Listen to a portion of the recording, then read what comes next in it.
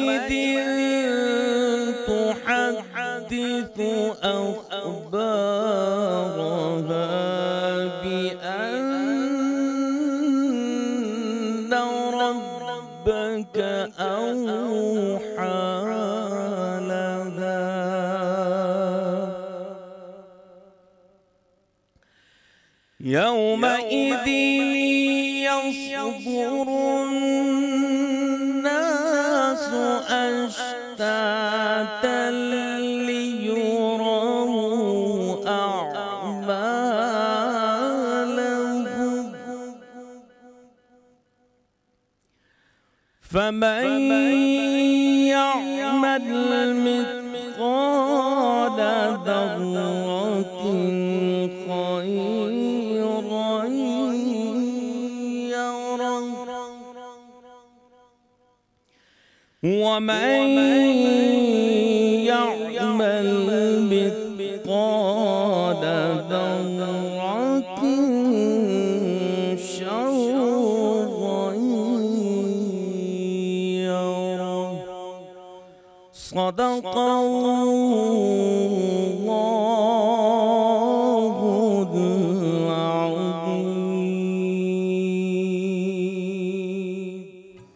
अस्सलाम वालेकुम आप सबको रमज़ान मुबारक और एक बार फिर हम रमज़ान की एक ख़ास ट्रांसमिशन जो है नूर रहमान इश्क रमज़ान, उसमें आपके साथ हैं और पूरा महीना इसी तरह से मेरा आपका साथ रहेगा दो बजे से लेके अफ्तार तक। और हम हर रोज़ कुछ मुख्तलिफ़ पर्सनालिटी से आपको मिलवाते हैं। कुछ रोज़े के बारे में, रमज़ान के बारे में थोड़ा सा जानने की कोशिश करते हैं, इसकी जो रूह है, उसको समझने की कोशिश करते हैं। उसके साथ साथ हम ये भी कोशिश करते रहते हैं कि ज़्यादा से ज़्यादा इन्फॉर्मेशन जो है वो आप लोगों के सामने लाई जाए।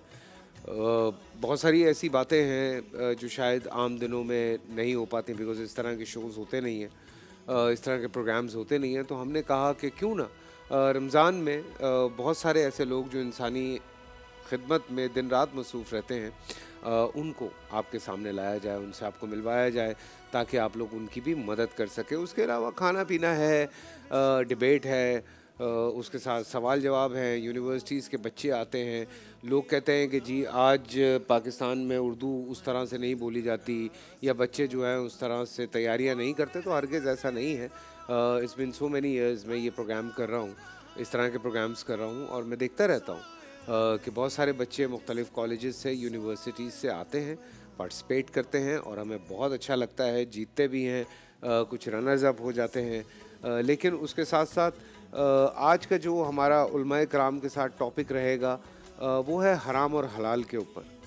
हराम और हलाल की जब भी हम बात करते हैं तो बहुत सारी बातें दिमाग में आनी शुरू हो जाती हैं।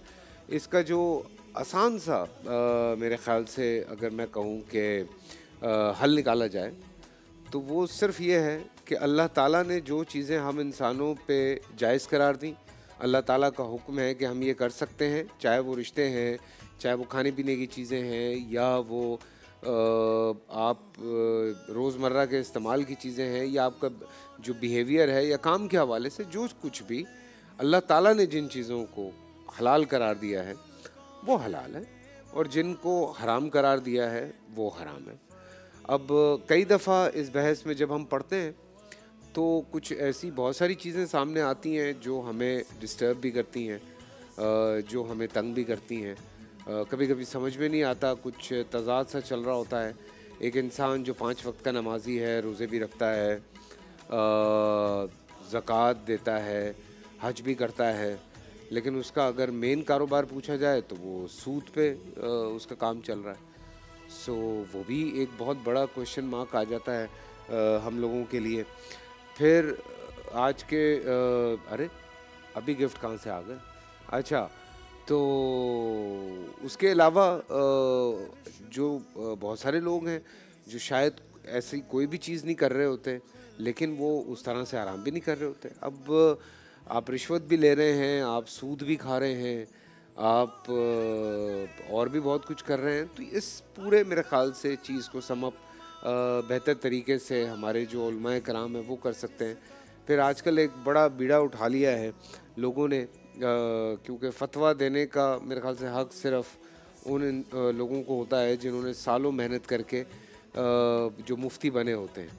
तो वो फतवा फतवा दे सकते हैं, लेकिन आजकल आप अगर सोशल मीडिया पे देखें तो कोई भी माशाल्लाह से फतवा आपको सुना देगा और वो आपको कह देगा कि आप हराम कर रहे हैं और आप हलाल कर रहे हैं बिना पूरे केस को जाने और समझे।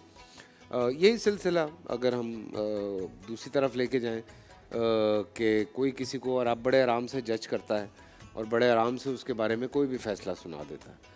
तो इसमें क्या हलाल है, क्या हराम है, रिश्तों के हवाले से, बाकी चीज़ों से? It's it's it's a very big debate जिस पे आज कराम जब बैठेंगे तो उनसे हम बात करेंगे। लेकिन जो हमारे पार्टिसिपेंट्स यहाँ पे आते हैं उनके लिए यहाँ पे तहाइफ होते हैं। ओजी डेवलपर्स की जानब से हमारे पास तहाइफ होते हैं। हमारे पास खालिद स्वीट्स की तरफ़ से तहाइफ हैं। हमारे पास वाइल्ड वेंचर की तरफ़ से एक साल का फैमिली मेम्बरशिप का बड़ा ज़बरदस्त अपना क्या कहते हैं पैकेज है। फोटाइल है हमारे पास जो कि यहाँ से गिफ्ट जाता है। फिर हमारे वो तमाम स्पॉन्सर्स जो हमारे साथ यहाँ पे मौजूद हैं, मैं उनका शुक्रिया अदा करता हूँ। डेटॉल है बीच में, हमारे साथ उनका भी हम शुक्रिया अदा करते हैं। सब रोसो है, बड़ा ज़बरदस्त यहाँ पे शेफ़ साहिबा जो हैं सुब्रोसो की रेसिपीज़ बना रही हैं, उनका भी हम शुक्रिया अदा करते हैं। और मैं आज भी शो में कोशिश ये करेंगे कि हम ज़्यादा से ज़्यादा जो है वो आप लोगों के सामने जितनी इन्फॉर्मेशन हो सकती है वो हम लेकर आएँ उस पर बात करें और हमारे साथ अक्सा जो हैं वो भी होती हैं हमें हमद भी सुनाती हैं नात रसूल मकबूल भी सुनाती हैं आज भी माशाल्लाह बड़े चमकीले कपड़े पहने हुए हैं आपने बहुत प्यारी लग रही हैं आप। हाँ मुझे बिल्कुल पता है क्योंकि आज आपके साहबजादे की सालगिरह है। सो आ रहे हैं वो? बिल्कुल आ चुके हैं। बच्चों के सेगमेंट में। क्या बात है क्या बात है। सो so, उनको भी यहाँ पे बुलाएँगे आज केक भी कटवा लेते हैं। ज़रूर ज़रूर। ठीक है ना? बच्चे तो खा सकते हैं जिनका रोज़ा नहीं है जिनका है वो ज़ाहिर सी बात है अफ्तार के बाद खाएँगे।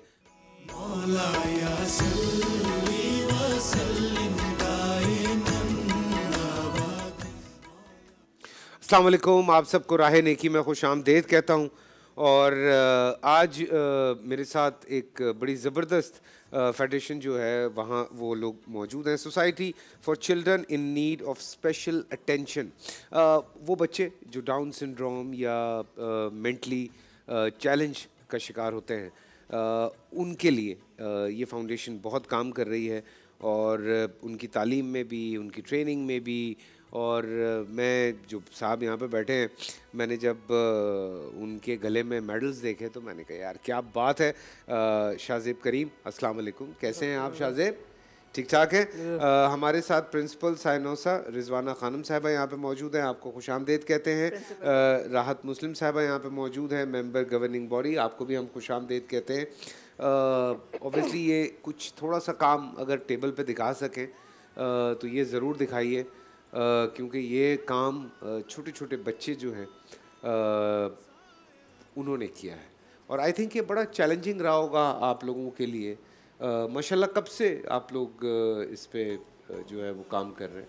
साइनोसा जो है वो 1960 में रजिस्टर्ड हुआ था। And it's the first school in Pakistan for down syndrome and mentally challenge children तो इसको माशाल्लाह इतने साल हो गए हैं और उस वक्त से कर रहे हैं। We started on with two children अच्छा। और अब माशाल्लाह हमारे पास 175 बच्चे हैं। माशाल्लाह। And it's in in a very underprivileged i don't want to use that word but sadly yes we are in that area.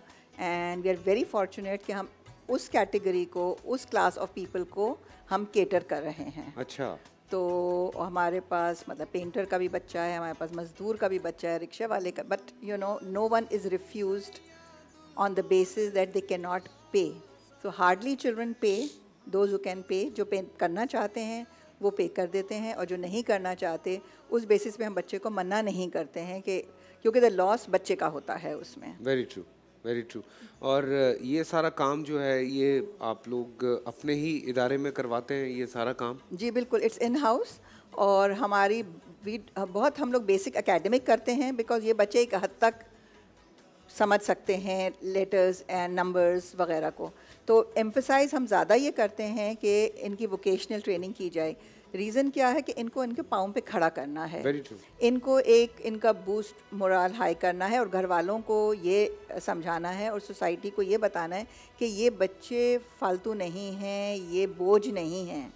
तो आप यकीन हमारे पास आठ खड्डियाँ हैं। जिसमें ये बच्चे कपड़ा बनाते हैं, ये कपड़ा भी इन्हीं के हाथ के बने हुए रखे हुए हैं।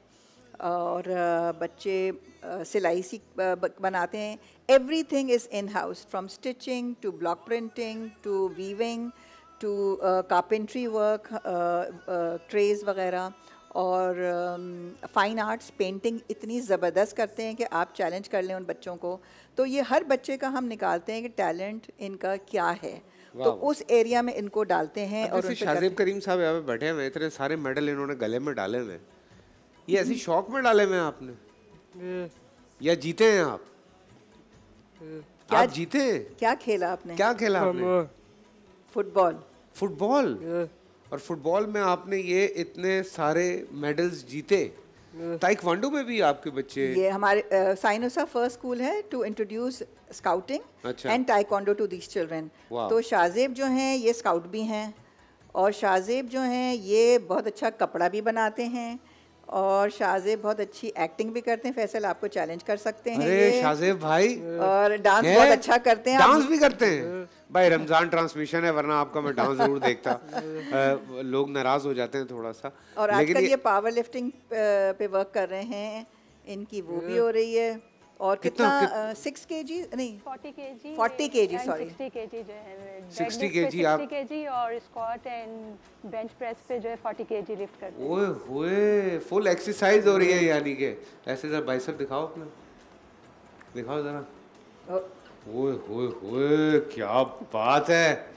भाई मेडल देखें जरा आप शाहजेब साहब बांग्लादेश गए 2012 में फुटबॉल टूर्नामेंट में इन्होंने अच्छा। ब्रॉन्ज मेडल लिया थर्ड पोजीशन ली। अच्छा। और इसके अलावा बाकी नेशनल गेम्स का हिस्सा रहे बॉची में एथलेटिक्स में। मैं ज़रा अगर थोड़ा सा क्लोज करें तो ये हम ज़रा सारे ये मेडल्स दिखाएँ। देखें स्पेशल ओलंपिक्स में सेकेंड ये first South Asian five a side football tournament वो भी इनके पास मेडल है। ये फिर एक सेकंड कंपटीशन फिर इंटर स्कूल इंटर कंपटीशन ये देखें जी ये स्पेशल जो ओलंपिक्स होती हैं उसमें कितने इन्होंने इनामात जीते हैं और माशाल्लाह माशाल्लाह ये सारे इनामात ये देखें मेडल भी लेकर आए हैं अभी जनाब थोड़े से मेडल छुप रख कर आ गए हाँ थोड़े रख के छोड़ के आ गए आप। शाहजेब क्यों छोड़ के आ गए? वो वज़न बर्दाश्त नहीं कर पा रहे थे हाँ बहुत हेवी होंगे ये देखें जी। कितना ये ब्लॉक प्रिंटिंग की चादर ये बच्चियों ने बच्चियों ने बनाई है जो इनके पास ये बच्चियाँ होती हैं ये देखें। कितनी प्यारी डिटेल के साथ काम हुआ हुआ है। और बहुत खूबसूरत जी। माशाल्लाह माशाल्लाह। साइनोसा I think you guys are doing a great job और ये रिसाइकल किए हुए जो अखबार जी, जी रिसाइकलिंग हमारी होती है जो अखबार वगैरह के जो सारी ये बैग्स वगैरह बना दें। एक मतलब पूरा प्रोसीजर जो होता है ना डिफरेंट स्टेप से गुजर के आ, वो आता है। जो बच्चा फोल्ड कर सकता है वो फोल्ड कर सकता है जो ग्लू लगा सकता है वो ग्लू लगाता है जो बच्चा डोरी डाल सकता है वो डोरी डालता है तो it moves around the whole cycle ये देखें जी ये सारे रिसाइकल हुए हुए हैं। ये ट्रे आप देखें ये वुड वर्क भी बच्चे खुद कारपेंट्री करते हैं। अच्छा। वुड वर्क भी और बेहतरीन polishing and everything is in house माशाल्लाह। और इसके ऊपर जो प्रिंट हुआ हुआ है ब्लॉक प्रिंट है ये बच्चों ने खुद बनाया हुआ है। ये देखें जी और ये गालिबन कुछ कड़े ये बड़े नहीं ये वो है napkin rings dinner napkin rings हैं। हैं। ठीक है ये भी हैं और बड़ी छोटी छोटी चीज़ें भी कुछ बनाई हुई ये नेकलेस है कुर्ता बटन्स हैं फॉर लेडीज़ ये भी हैं ये बच्चियाँ बनाती हैं। मतलब एवरी और ये जो जूट का बैग देख रहे हैं ये हाँ। इस पे जो काम हुआ हुआ है मोती का ये अड्डे पे बच्चे खुद बनाते हैं। अच्छा तो माशाल्लाह माशाल्लाह। और इसके अलावा मतलब ये दिस कपड़ा इज़ आल्सो वेरी हमारे। यहाँ पॉपुलर और ये टेबल मैट्स भी बने हुए हैं कार्ड्स भी बने हुए हैं। कितना आप लोगों को डिफ़िकल्ट होता है बच्चों को वहाँ तक लाना फिर उसके बाद उनको ट्रेन करना पेरेंट्स को कन्विंस करना या पेरेंट्स खुद आ रहे हैं आपके पास? नहीं माशाल्लाह पेरेंट्स खुद आते हैं अब सोशल मीडिया की वजह से बहुत अवेयरनेस बढ़ रही है। और उसकी वजह से लोग आते हैं एंड हम लोग यही कहते हैं early intervention is better than जो ज़ाहिर है जो ज़रा बड़ा बच्चा आता है उसको ट्रेन करने में टाइम लगता है। But hats off to our teachers कि जो इतनी मेहनत करती हैं बच्चे बाज़ अवत एक बच्चे को सिर्फ़ सीधा बैठने में छः छः महीने लग जाते हैं और लेकिन उसके साथ वर्क करना, मोटी सी बीड से लेके, सुई में धागा पिरोने से लेके, फिर इस लेवल पे आने में टाइम लगता है। तो there is no time limit हम के, किसमें कोई बच्चा विद इन वीक्स ही कर पिकअप कर लेता है, कुछ लोगों में बहुत टाइम लगता है। और एज कैटेगरी हमारे पास चार साल के बच्चे से लेके सिक्सटी ईयर तक का बच्चा मौजूद है। मैं बच्चा ही कहूँगी उसको। और इसके अलावा हम लोग वहाँ पे इन बच्चों की फिजियोथेरेपी होती है बिकॉज़ इन लोगों को आर्थराइटिस इश्यूज़ बहुत होते हैं और since ji when they are working on the खड्डी और जो भी सारे ये जब इतनी पावर लिफ्टिंग करते हैं तो इनको भी एक्सरसाइज और फिजियोथेरेपी की ज़रूरत होती है। We do hydrotherapy with them अच्छा। जैसे आपने इनसे बात करते अंदाज़ा लगाया तो 99 परसेंट बच्चों को स्पीच इशू होता है। तो स्पीच थेरेपी हमारी इन हाउस होती है। बच्चों को मनी कॉन्सेप्ट सिखाना कि किस तरह से अगर ये करें। मतलब हर तरह से इंडिपेंडेंट बच्चों को कपड़े पहनाना लेसेस बांधना शेव करना तक उस लग तक हम लोग इनको लेके जाते हैं। लड़कियों को बाल बनाना यू नो अपने आप को ग्रूम करना हाँ। मेहंदी लगवाना ये सब बच्चियाँ हम सिखाते हैं वहाँ पे इन हाउस शुक्र अलहमदिल्ला आप लोगों के लिए भी बड़ा चैलेंज होता है बिकॉज़ आप लोग डायरेक्ट डील कर रहे होते हैं। एज अ प्रिंसिपल इतने सारे बच्चों को हैंडल करना पढ़ाना भी है फिर ट्रेन भी करना है फिर उनका ख्याल भी करना है तो ये चीज़ें काफ़ी आप लोगों के लिए हैक्टिक होती होंगी।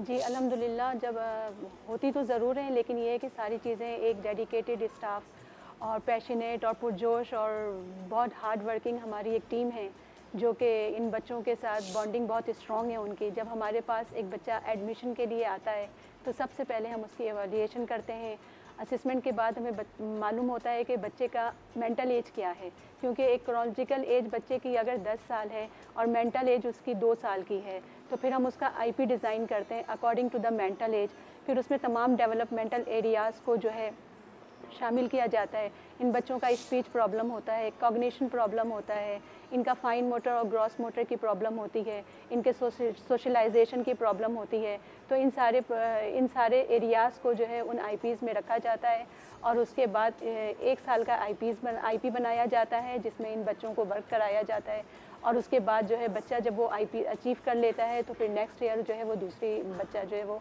दूसरे एरियाज़ में काम कर रहा होता है और इस तरह ये मुख्तलिफ़ बेसिक अपनी थेरेपीज़ एजुकेशन और फाइन मोटर एक्टिविटीज़ और ग्रॉस मोटर एक्टिविटीज़ के बाद जब ये बच्चे तकरीबन 15 से 20 साल की एज में आते हैं, तब इनको जो है हम वोकेशनल डिपार्टमेंट में शिफ्ट कर देते हैं। साइनोसा का एक एक्सटेंसिव वोकेशनल सेटअप है, जैसा कि आपको मैडम ने बताया कि हमारे बच्चे इन सारे डिपार्टमेंट में काम करते हैं और अल्हम्दुलिल्लाह बहुत से बच्चे ऐसे हैं जो कि एडवांस लेवल पर काम कर रहे हैं और ये सारे प्रोडक्शन जो है इंडिपेंडेंटली दे रहे हैं। और अब ज़रूरत इस बात की है कि हम चाहते हैं कि हमारे बच्चों के लिए एक वोकेशनल सेटअप के साथ साथ एक शेल्टर्ड वर्कशॉप भी हमारे बच्चों के लिए हो ताकि उनमें इनकी एम्प्लॉयमेंट वगैरह हो सके और ये बच्चे जो है एक अपने फैमिली के लिए अर्निंग मेंबर साबित हो सकें और अपने आप में जो है बहुत कॉन्फिडेंट फील करें। एक छोटा सा पैकेज भी है मैम हमारे पास हम चाह रहे हैं वो भी साथ साथ दिखाते रहें क्योंकि seeing is believing I think तो आइए एक छोटा सा एक छोटा सा पैकेज देखते हैं।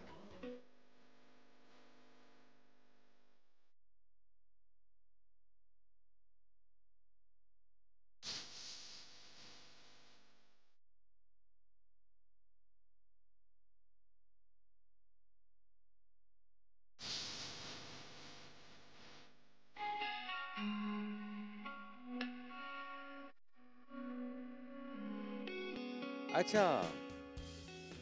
Okay okay okay Fahad Fahad is अच्छा very good very he is very helpful very supportive to the I think right now बहुत बड़ा सर्जन है जी पाकिस्तान का बट लेकिन हम जब भी कॉल करें he is always there for हाँ अस नहीं ऑब्वियसली एज अ डॉक्टर तो और रिस्पॉन्सिबिलिटी बढ़ जाती है। एग्जैक्टली हाँ। और ये जी बैंक डिटेल्स चल रही हैं।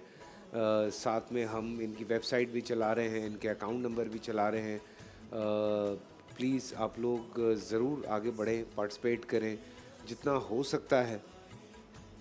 जब कोई बच्चा डाउन सिंड्रोम या मेंटली चैलेंज लेके पैदा होता है ना तो मैंने पेरेंट्स की ऐसी कंडीशन देखी है जो कि बहुत अनबेरेबल होती है और हम देखते भी हैं पेरेंट्स को कि ज़िंदगियाँ उनकी ना रुक सी जाती हैं, ऐसे मामलात में आके।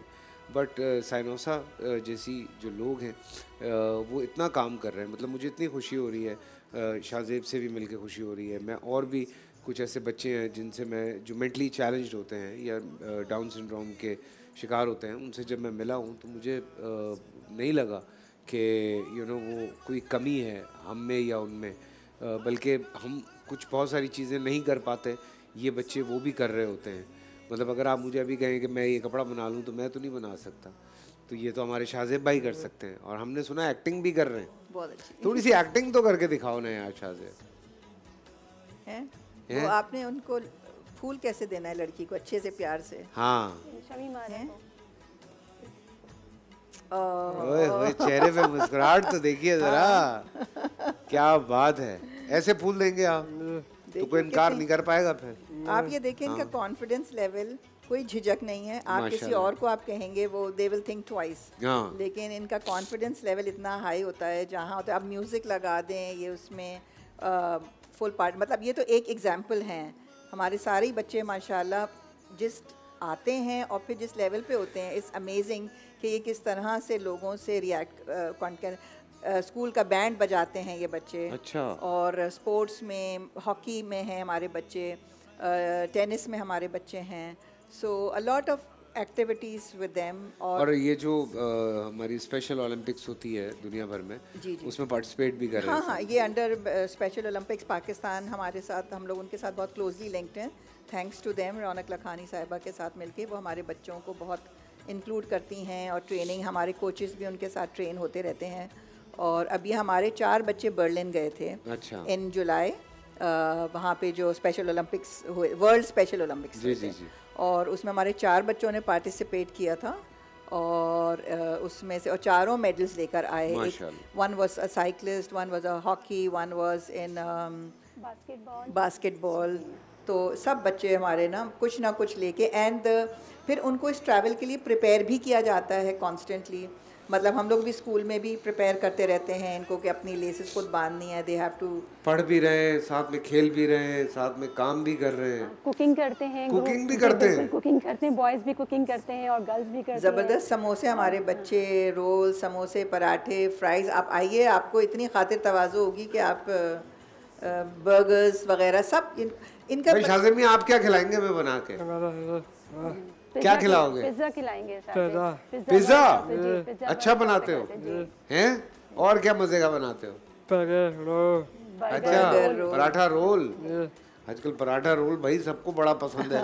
बच्चों से भी बात करो तो वो भी पराठा रोल ही कह रहे होते हैं। नहीं हमारे बच्चे भी बहुत बिज़ी हैं आजकल रोल और समोसा बनाने में ना। जी, जी। जो हमारे स्कूल के बच्चे हैं वो पेरेंट्स जो है उनका ऑर्डर आया हुआ होता है तो वो जो है बहुत बिज़ी रहते हैं। सुबह से लेकर अपने स्कूल टाइमिंग्स तक किचन में। और आप लोग उसको सेल भी करते हैं? जी बिल्कुल पेरेंट्स लेते हैं उनसे हमारा असल में अभी हमने रिस्ट्रिक्ट किया हुआ हाँ। है टू बिकॉज़ एक तो इन बच्चों का इतनी स्पीड अप नहीं हो सकता that we could do it in an industrial way जी, जी, जी। टू फिर प्लस उस एरिया में हमारे यहाँ नौ नौ दस दस घंटे इलेक्ट्रिसिटी नहीं होती। एंड फ़ूड का मामला ऐसा है कि हम लोग रिस्क नहीं ले सकते हैं कि बच्चे बनाएँ फ्रीज करें। हालाँकि बे इंतहा डिमांड है हमारे पास लेकिन वो हम उस चीज़ से कमिटमेंट करना नहीं चाहते कि जो हम नहीं कर पाएँगे। लेकिन यही माशाल्लाह इन हाउस ही इतना ज़्यादा हो जाता है फ्रेश चली जाती हैं तो ताज़े के ताज़ा चला जाता है कि लेकिन अगर हम किसी को यू you नो know, अगर ना, ना, गर्मी में नॉर्थ नाजमाबाद में वेर आर स्कूल सिचुएटेड वहाँ से आने में we don't want to take food risk वगैरह। लेकिन ये बच्चे आप जिस कॉन्फिडेंस से करते हैं दे डोंट केयर कि कौन विजिटर आया हुआ है कौन मैं- आप है? आप लोगों का बहुत शुक्रिया और मैं आप लोगों से एक दफ़ा फिर दरख्वास्त करूँगा। प्लीज़ साइनोसा को सपोर्ट कीजिए हमने बार बार इसीलिए हम चला रहे हैं। हम चलाते रहते हैं ज़्यादा से ज़्यादा डोनेट करें जितना कर सकते हैं। Thank you ma'am thank you so much TV one के प्लेटफॉर्म से हम अपने सारे डोनर का बहुत शुक्रिया अदा करना Thank चाहेंगे जो कि इंतहाई डिग्निटी शाहजेब आप अगर रुकना चाहते हैं ना आप थोड़ी देर रुक सकते हैं बिकॉज़ हमारी शेफ साहिबा कुछ मज़े का बना रही है। एक और चीज़ आप सीख के जाइए। आप आप रुकना चाहेंगे थोड़ी देर? हैं? आप हमारी शेफ को देखें आप ज़्यादा देर रुक जाएँगे।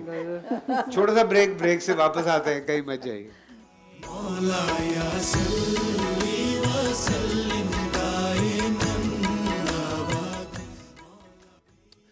अल्लाम दीन और दुनिया में आप सबको खुश आमदेद कहता हूँ। डॉक्टर नुजर साहबा यहाँ पे मौजूद हैं और कुछ बड़ा मज़े का बन रहा है साथ साथ किचन में। रोज़ा और पेट भी हम कह सकते हैं साथ साथ लेके चल रहे हैं हम। जी तो पहले आप बता दें क्या बन रहा है फिर हम डॉक्टर साहबा को अच्छा आज जो मैं रेसिपी बना रही हूँ वो है बन पिज्ज़ास ब्रेड पिज्ज़ास ठीक है? उसके लिए मैंने 500 ग्राम चिकन लिया था बोनलेस है जो कि मैंने इस तरह क्यूब्स में काट लिया था।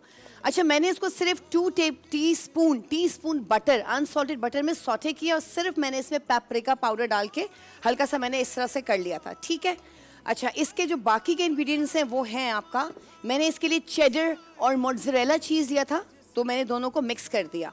ब्लैक पेपर पाउडर इसमें जाएगा पेपरिका पाउडर है, और आपका ये ओरेगनो है ब्राउन शुगर है, नमक है, और ये कैप्सिकम्स हैं थोड़ी सी मैंने इसको लंबी स्लाइस कर ली थी इस तरीके से। ठीक है, कुटी हुई लाल मिर्च इसमें जाएगी, और थोड़ा सा ये मेरिनारा सॉस कह लें या पिज़्ज़ा सॉस कह लें, ये हम बंस में लगाएँगे। उसके ऊपर हमने ये चिकन का जो हमने बनाया स्टफिंग वो लगाएँगे, फिर हम चीज़ डालेंगे, और फिर हम इसको बेक कर लेंगे। तो ये हमारे ब्रेड पिज़्ज़ाज रेडी हो जाएँगे। ज़बरदस्त। जी क्लाइमेट चेंज के ऊपर जी। हम बात कर रहे थे और हम पिछले दो दिन से क्लाइमेट चेंज के ऊपर बात कर रहे हैं। उस हवाले से जितना भी लोगों को समझाया जाए वो ज़रा कम है। उसमें हम क्या पार्टिसिपेट कर सकते हैं? ये बड़ी एक इंपॉर्टेंट चीज़ है। देखिए बस अस्सलाम वालेकुम आज सातवां रोज़ा और सबको मुबारक। और हम कोशिश कर रहे हैं थोड़ी सेंसिटिविटी एक आम आदमी के लिए क्रिएट करने की। जिसको हम ग्लोबल इशू कहते हैं क्लाइमेट चेंज को। अ, लेकिन वो ग्लोबल इशू के साथ इंडिविजुअल इनिशिएटिव की भी इतनी ही ज़रूरत है जितनी कलेक्टिव ग्लोबली इस इनिशिएटिव की ज़रूरत है। यस गवर्नमेंट की बहुत सारी जिम्मेदारियाँ हैं लेकिन इंडिविजुअल की भी बहुत सारी जिम्मेदारियाँ हैं। मेरे ख्याल में एक छोटा सा एक। स्लाइड दिखाना चाहती हूँ और जिसमें आप ये देखिए कि कराची का अर्बन स्ट्रॉल किस तरह से किस तरह कराची डेवलप हुआ है और उसकी जो लैंडस्केप है, वो कैसे चेंज हुई है? तो उसको देख के आप देखें कि जब वो कराची बना था अर्ली लेट फोर्टीज़ में तो इसका एक बहुत छोटा सा इसकी पॉपुलेशन थी और बड़ा इंटरेस्टिंगली इसको एक्सपेंड किया गया। यस शहर जो हैं, वो एक्सपेंड होते हैं और इसलिए कि ये एक रोज़गार हासिल करने का एजुकेशन का हब है। और कराची के साथ क्योंकि समंदर लगता है तो हमारी जो 90 परसेंट इकानमी है, वो समंदर ड्रिवन है। हमारा ट्रेड जो है वो समंदर डिपेंडेंट है। और ये बहुत ज़्यादा नई नहीं है 2016-17 की है। तो हम स्प्रेड हो गए ईस्ट नॉर्थ वेस्ट साउथ अब हमने लैंड भी रिक्लेम करनी शुरू कर दी है। जब हम स्प्रेड होना शुरू हुए इसका मतलब ये है कि हमने जो कराची के गिने चुने दरख्त थे हमने उनको भी काटा।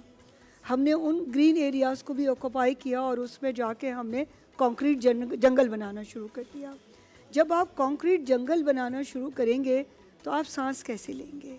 आपके वो जो डेजिग्नेटेड मशीन्स हैं, जो आपके लिए ऑक्सीजन प्रोवाइड करती हैं, जब वो आप हटा देंगे तो फिर आपका क्या होगा? तो एक और इसके साथ स्लाइड अगर हम देख लें तो ये बड़े इंटरेस्टिंग स्लाइड्स हैं कि एक जो आम आदमी है, वो 7.2 कार्बन डाइऑक्साइड जो है, वो एक हाउस होल्ड करता है। एक आदमी को तकरीबन 8000 केजी पर का आपको ऑक्सीजन कार्बन डाइऑक्साइड इमिट करता है एक साल के अंदर। तो जब हम खुद चलते फिरते एक पोल्यूटर हैं हम पोल्यूशन कर रहे हैं और कार्बन डाइऑक्साइड जितनी ज़्यादा पॉपुलेशन होगी। और सांस कम लें। सांस कम नहीं ले दरख्त ज़्यादा लगाएँ। अच्छा अपने देखे बाहर मुल्कों में जब बच्चा पैदा होता है जब उसको गिफ्ट किया जाता है तो उसके साथ एक दरख्त भी लगाया जाता है उसकी ऑक्सीजन का इंतज़ाम किया जाता है। तो क्या हमने अपने स्कूल कॉलेजेस में अपने घरों में हमें ये आ गई है? कि जो आने वाली हमारी हमारी पॉपुलेशन मल्टीप्लाई हो रही है by several order of magnitude हम एक कंक्रीट जंगल बना रहे हैं तो क्या हमने अपने सांस लेने का बंदोबस्त किया है? आपको याद है, हमने पहले पहले दिन ये बात की थी कि वो वक्त ना आए जब हमें ऑक्सीजन ख़रीदनी पड़े अपने सांस लेने के लिए। तो ये आज के दिन के लिए कि जी, एक मेच्योर ट्री जो है, वो तकरीबन 22 two K G carbon dioxide को मॉपअप करता है और हम कोई 8000 के जी एक्सेल कर रहे हैं।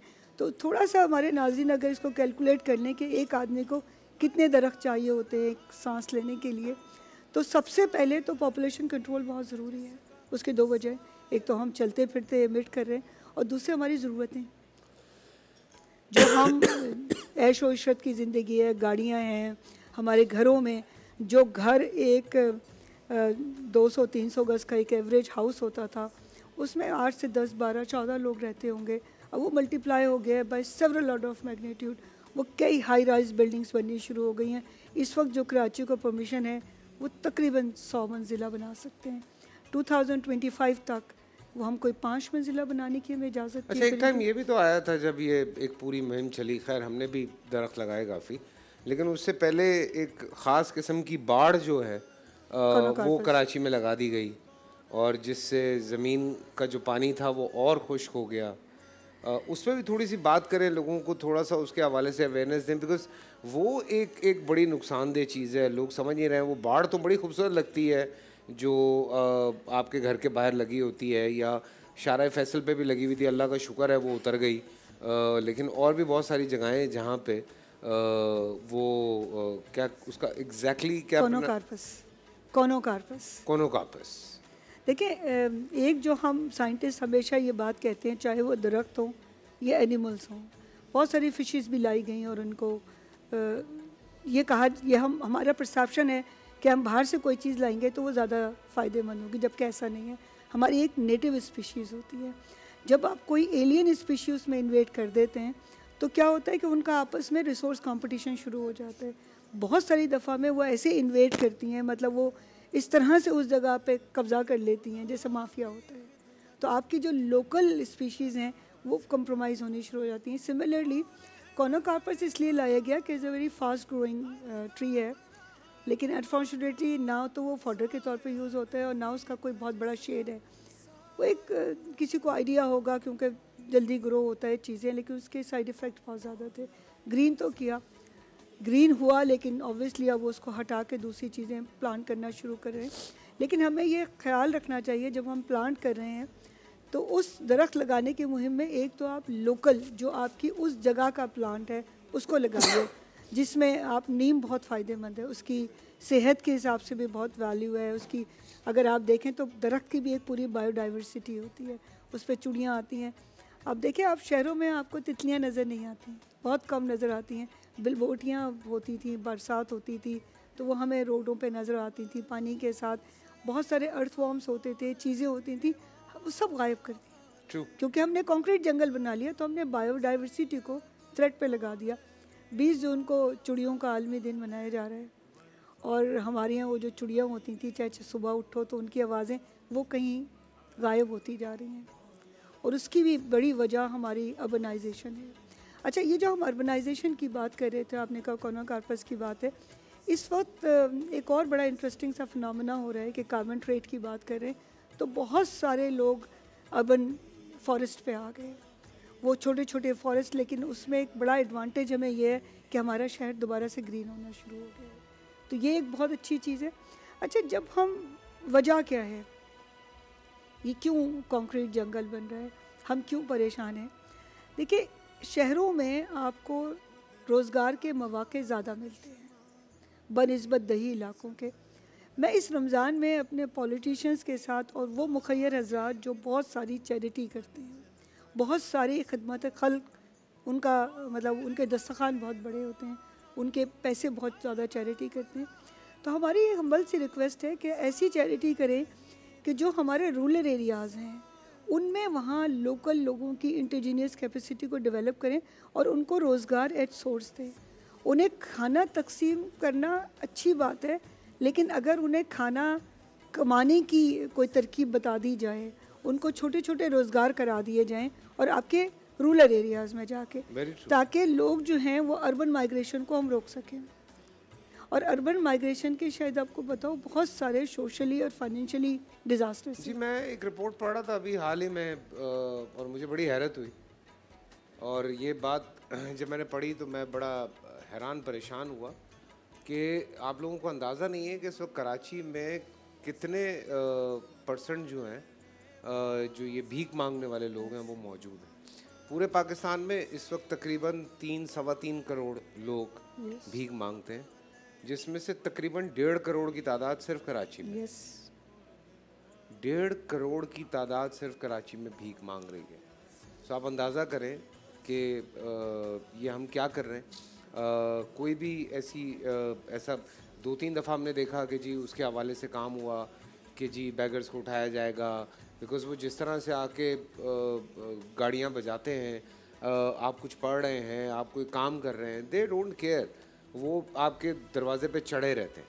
सो so, एक तो स्टॉप उनसे ब्लैकमेल होना छोड़ें। बिल्कुल कोई ज़रूरत नहीं है किसी को भीख देने की। ये सबसे बड़ी जो चीज़ है वो इम्पोर्टेंट है। दूसरी बात आपने जो उस कॉनोपोकस क्या है? कोनो कार्पस कोनो कार्पस के हवाले से की पानी जो ज़मीन का पानी है वो उसको बहुत ड्राई करता है। सो थोड़ा सा इस चीज़ को भी अंडरस्टैंड करना है। हम कराची में रहने वालों के लिए वैसे ही बहुत सारे इलाकों में पानी के बहुत इश्यूज़ हैं। सो वो बिल्कुल एक तो वेदर भी ड्राई हो गया है उसकी वजह से क्योंकि आज भी बहुत सारे घर हैं, इलाके हैं, जहाँ पे वो बाड़ें अभी लगी हुई हैं। बहुत सारे उसके बाद लोगों ने ड्राइव्स की कि उसको हटाया जाए। हमें पता नहीं था, मुझे नहीं था, पहले मैंने भी लगाई हुई थी। फिर मैंने भी वो हटाई। मैंने हटा के वहाँ पे दरख्त लगाए। एक बात जो आपने की ना मैं कहता हूँ इस कदर खूबसूरत बात है कि समझ लें कि वो गांठ बाँध लें आप कि आपके घर में जब बच्चा पैदा हो उसके नाम का एक दरख्त लगा दें दो लगा दें तीन लगा दें। ये तो इस कदर खूबसूरत बात है कि यकीन माने कि इससे आप बेहतर सदका जारिया कर ही नहीं सकते। एक हसीन सदका जारिया है ये। और जो स्कूल्स हैं उनमें ये एक स्कूल की ओनरशिप स्टूडेंट्स के लिए बहुत ज़रूरी होती है ना। तो वो ओनरशिप डेवलप करने के लिए अगर वो बच्चा आता है आपके स्कूल में और वो अपना हाथ से एक प्लांट लगाता है तो उस स्कूल के साथ उसकी एसोसिएशन बन जाती है। तो वो जब भी बड़ा होगा कहीं और जाएगा तो वो अपना प्लांट देखने अपना स्कूल देखने ज़रूर अच्छा ज़रूर मैं मैंने दुनिया भर में देखा जैसे ये ख़ास तौर से जो ये अ, समंदर के किनारे बसने वाले शहर होते हैं साहिल समंदर पे मैंने बहुत ज़्यादा खजूर और नारियल के दरख्त देखे हैं। जो लगाए जाते हैं ख़ास तौर से ये क्या वजह होती है इनकी कि वो वो एयर पोल्यूशन को कम करते हैं और या एक्चुअली ये थोड़ी हार्डी सी स्पीशीज़ होती है और ये सलाइन वाटर में हो जाती है। अच्छा। क्योंकि समंदर का पानी और ज़मीन जो है वो थोड़ी सॉल्टिश होती है तो वो आसानी से ग्रो हमारे यहाँ प्रॉब्लम सबसे बड़ा ये है जो दरख्त नहीं होते हैं साहिल समंदर पे कि हमारे यहाँ बारिशें नहीं होती तो उनके जो पत्तों के वो जो निमोटोफोर जिससे वो इंस्पायर करते हैं सांस लेते हैं वो ब्लॉक हो जाते हैं। मेरे अपने ऑफ़िस में हमने कोशिश की और शायद उस बेल्ट के क्लिफ्टन का एक ज़माने में सबसे अच्छा लॉन होता था। तो हमने एक एक्स्ट्रा एफर्ट की उसको मेंटेन करने के लिए। अगेन हमें वो दरख्तों को कवर करके रखना होता था उनकी चटाई के साथ ताकि उनके पत्ते जल नहीं जाएँ। उन जगहों पे बहुत आसान होता है जैसे अगर श्रीलंका चले जाएँ या दूसरी जगहों पे जहाँ बारिशें होती हैं तो वहाँ पे ये प्रॉब्लम नहीं होती वो नेचुरल वॉशिंग हो जाती है। अच्छा जो आपने बेगर्स की फ़कीरों की बात की देखिए अर्बन माइग्रेशन जब होती है तो वो बहुत सारी किस्म की होती है। अभी जैसे फ्लड आया। Ma'am I am so sorry ये हम कल इस टॉपिक को लेके जा सकते हैं? बिल्कुल कल लेके जा सकते हैं। I am so sorry because ये बड़ी लंबी बात है। मैं चाह नहीं रहा हूँ कि जल्दी में जो है ना ये ये ज़ाया हो।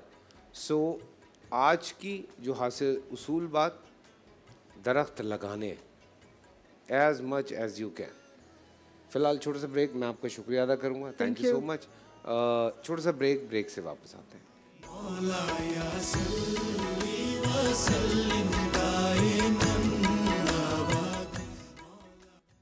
जी हाँ welcome back after the break महकती कलिया में आप सबको खुश आमदेद कहता हूँ उम्मीद करता हूँ सब खैर खैरियत से हैं और यहाँ प्यारे प्यारे बच्चे आ गए हैं हाथ में थामे हुए हैं गुब्बारे और यहाँ मौजूद है एक केक।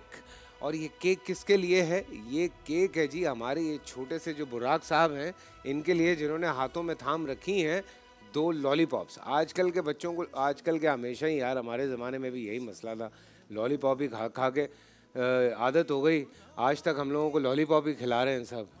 सो एनी वे बुराक साहब जो हैं, हमारे अक्सा के साहबजादे हैं। और बुराक आपको पता है आज आपकी बर्थडे है? आपकी बर्थडे आप तीन साल के हो गए how old are you mic देना बेटा। आप कितने साल के हो गए? अच्छा तीन साल के। अच्छा जी तो केक काटना है आपने? और उसके बाद खाना भी है? आपको कौन सा केक पसंद है? ये वाला? ठीक है। और आपको कौन सा केक पसंद है? ये वाला आपको कौन सा केक पसंद है? वेनेला। ओए होए। हाँ बिल्कुल। और आपका कौन सा केक पसंद है? चॉकलेटी। आज वैसे रोजा किस किस का है? हैं? हाँ। आप केक खाएँगे नहीं जिसका नहीं है वो ऑफेयर खा लेंगे। ठीक है लेकिन हम केक काटते हैं बुराक का। और बुराक भाई आपका केक हम ऐसे नहीं काटेंगे आपकी अम्मा को यहाँ बुलाएँ। वेज मामा। कहाँ मामा कहाँ आ जाए मामा, आप भी आ जाएँ। आ जाएँ जी। अक्सर जी, छोटी सी मामा। आ जाएँ आ जाएँ, आ बिल्कुल आए, इधर आके केक काटें। था चलो केक काटो भाई। भाई, केक तो काटो। अच्छा अहमद के साथ बलून तेल लाऊं। हाँ ठीक है। आ जाओ आ जाओ भाई, केक काटें सारे। आ जाए, बुराक का केक काटते हैं। चलें चलें चलें। ओए होए, केक कोई बहुत ही मज़े का लग रहा है। चलो भाई हाथ पकड़ो। हाँ। ये लो। आ जाओ अहमद चलो भाई सारे हाथ रखें। चलो भाई हैप्पी बर्थडे बुराक ये लो भाई। Happy birthday to you happy birthday to you happy birthday dear Burak happy birthday to you अबे कुर्बानी नहीं करनी केक काटना है। काटे जा रहे हो काटे जा रहे हो। केक का कचुम्बर बना दिया तुमने। बच्चों के लिए। वाह वाह वाह पिज्जा बर्गर क्या? हाँ जी आज क्या तैयार करके आई हैं आप? आप बताइए हमें। क्या सुना रही हैं आप हमें आज? अच्छी वाली चीज़। अच्छी वाली चीज़ें? तो पहले अच्छी चीज़ें नहीं सुनाई आपने हमें? हाँ नहीं चलाई थी। अच्छा चलें सुनाएँ। अगर हम लोग काम करने से पहले अगर हमने ए, ई, नहीं अगर हम हम हम लोग काम करने से पहले बोलते हैं बिस्मिल्लाहिर्रहमानिर्रहीम और और हम लोग अगर हमें गुस्सा आए तो हम लोग बोलते हैं आज़बिल्लामिनश्शैतानिर्रजीम हाँ। और अगर और अगर हम हमको कोई परेशानी आए तो हम लोग बोलते हैं अल्लाह अकबर अल्लाह ताला हमारी हेल्प करेगा। और अगर और अगर हमको ठीक आए तो हम लोग बोलते हैं अल्हम्दुलिल्लाह। हम्म। और अगर हमें कोई चीज़ अच्छी लगे तो हम लोग बोलते सुबहान अल्लाह बिल्कुल। और हमें डर लगे तो हम लोग बोलते अल्लाह अकबर। बिल्कुल। क्या बात है, आपने अच्छी बात बताई हमें। ठीक है? और अगर हमें कुछ ना समझ आए, कुछ बुरा लगे, ठीक है, जो आप कहें कि नहीं, मुझे ये अच्छा नहीं लग रहा, या ये कोई अच्छी बात नहीं है तो हम क्या कहते हैं? नाउज बिल्ला ठीक है? ठीक है? तो ये भी ये भी याद रखना है। अगर हमें कुछ बुरा लगे, कुछ हमें, जैसे होता है ना कि, लेकिन या अल्लाह मदद जो है, वो हमें हर वक्त पुकारते रहना चाहिए कदम कदम पे हमें अपने अल्लाह से मदद मांगते रहना चाहिए। सही जी बोले। सही बोल रहा हूँ ना? मैं पहले गलत बोलता हूँ? हमेशा सही बोलता हूँ यार? हाँ सही बोल रहे पहले तो हाँ। अब पहले तो मैं आपसे लड़ाई कर रही थी और अब आप मुझसे लड़ाई कर रहे नहीं मैं तो आपसे लड़ ही नहीं सकता। बच्चों के साथ नहीं लड़ सकते आप। आपने झूठ बोला कि आपने मेरा चैलेंज ये सही नहीं किया। नहीं मैंने आपका चैलेंज माना हुआ आप चली गई थी। आज आपने ये चार पीस खाने ठीक है। अकेले? ठीक है। ठीक है? तो इन सारे मासूम बच्चे को कौन देगा? मासूम बच्चों को हम और बना देंगे वो शेफ साहिबा यही मौजूद हैं। तो वो सारे मैं ही खाऊँगी। ये आठ पीस खाएँगी आप? हाँ। ठीक है। ठीक है। सही हो गया। आठ पीस खाएँगी चार पीस खाएँगी? आठ। आठ पीस? हाँ। ठीक है। पूरे पूरे मज़े का होता है इसलिए। हाँ बिल्कुल। सही है सही है। कैसी हैं आप? ठीक ठाक हैं आप आए नहीं दो तीन दिन? नहीं। क्यों? पढ़ाई चल रही है। क्या सुना रही हैं आज आप हमें? शेर। शेर सुना रही हैं। वाह वाह वाह वाह वाह। सुनाइए। अव्वल से भी अव्वल है तू आखिर से भी आखिर, अव्वल से भी अव्वल है तू आखिर से भी आखिर। कब से है, कहाँ तक के खबर थी ना खबर है। रखता भी नहीं कान पर सुनता है दुआएँ, रखता भी नहीं कान पर सुनता है दुआएँ। आँखें भी नहीं है पर एक शय पे नज़र है। महमूद है ऐसा कि तेरी हमद मोहम्मद महमूद है ऐसा कि तेरी हमद मोहम्मद। आला है तू इतना कि अली से भी बड़ा है। ये हुस्न है तेरा कि तू हसनैन का रब है। ये हुस्न है तेरा कि तू हसनैन का रब है। फातिर है तो फिर फातिमा जहरा का खुदा है। जाओ ले आओ जाके गुब्बारा। माशाल्लाह माशाल्लाह माशाल्लाह। इनको दीजिए माइक। वालेकुम कैसी हैं आप? ठीक। क्या हो रहा है? कुछ नहीं। तो आपने केक खाना है? ये अभी ये आपका रोज़ा है? रोज़ा नहीं है। तो केक खाएँगी आप? जी। हैं? क्या क्या सुना रही हैं आज आप हमें?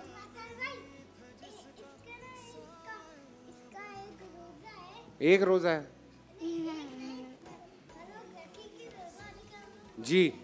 जी बेटा क्या सुना रही हैं? अच्छा। आप सुनाएँ क्या सुना रहे थे? आप नात मेरे ख्याल से नात सुनाना चाह रहे हैं ना? आप जो बोल रहे थे जो जो जो आपका दिल करे। बिस्मिल्ला सरे में फिल करम ए मेरी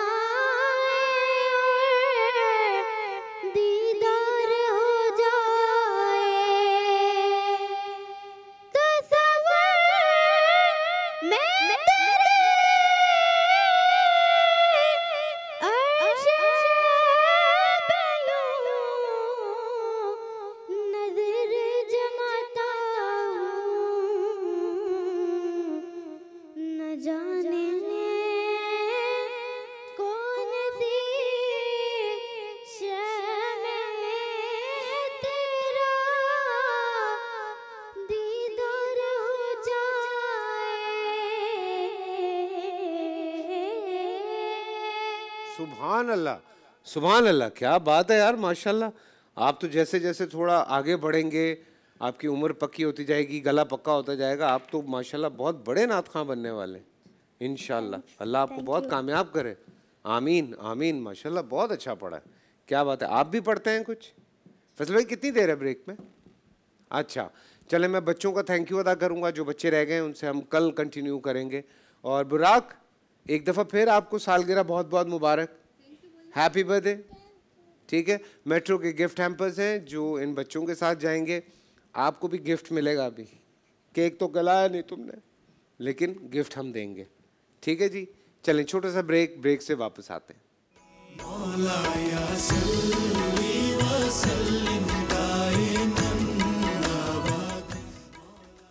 वालेकुम आप सबको खुश आमदेद कहता हूँ। आज जेर ज़बर पहले हो रहा है और मुझे कुछ कहना है बाद में होगा।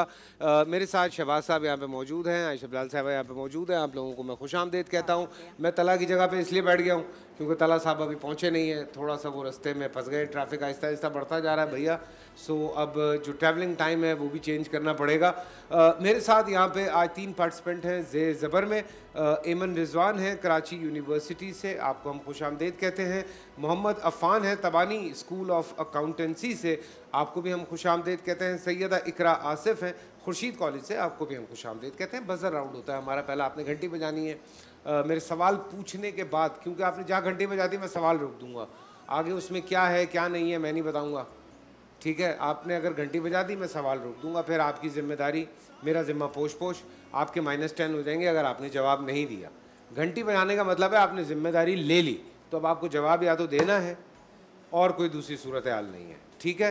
घंटी बजाने के बाद इंतज़ार कीजिएगा बिकॉज़ ये दोनों जजेस मुझे बताते हैं कि किसने घंटी बजाई है और किसने घंटी नहीं बजाई है। तो आप लोग तैयार हैं? चलें जी बिस्मिल्लाह करते हैं। बजर राउंड से अलामा इकबाल की मशहूर नज़म शिकवा जवाब शिकवा उनके किस मजमू कलाम में शामिल है?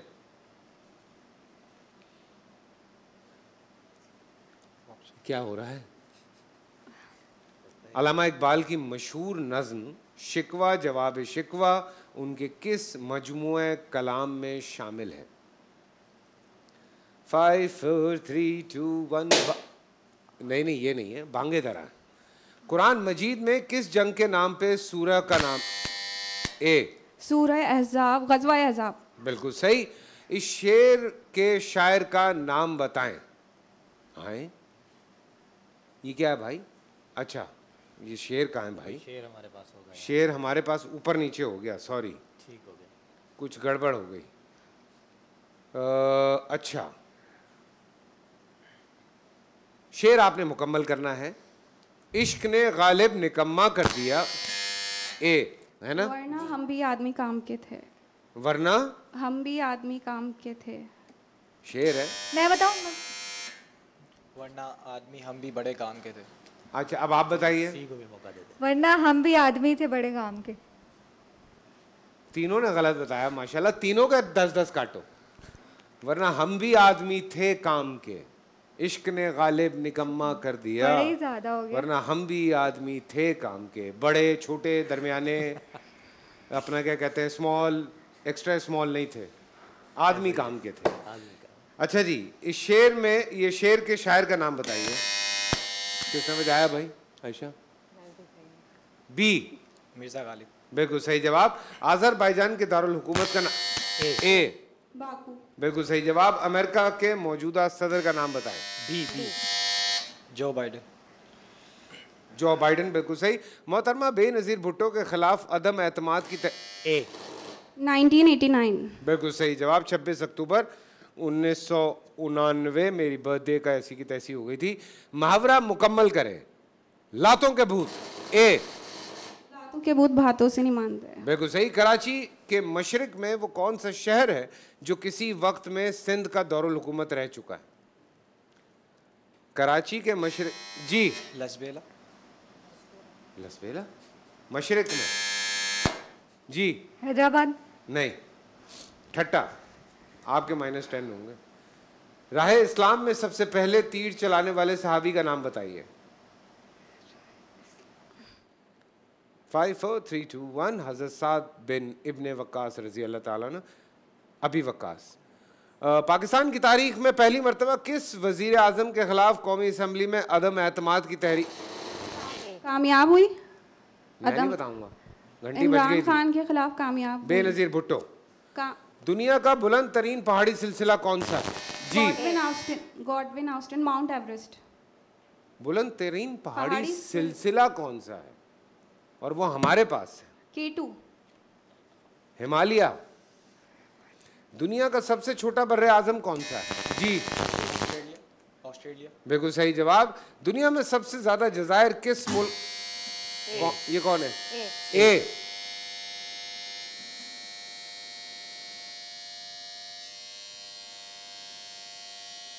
भाई ये को टेप लगा के भाग गया घंटी पे?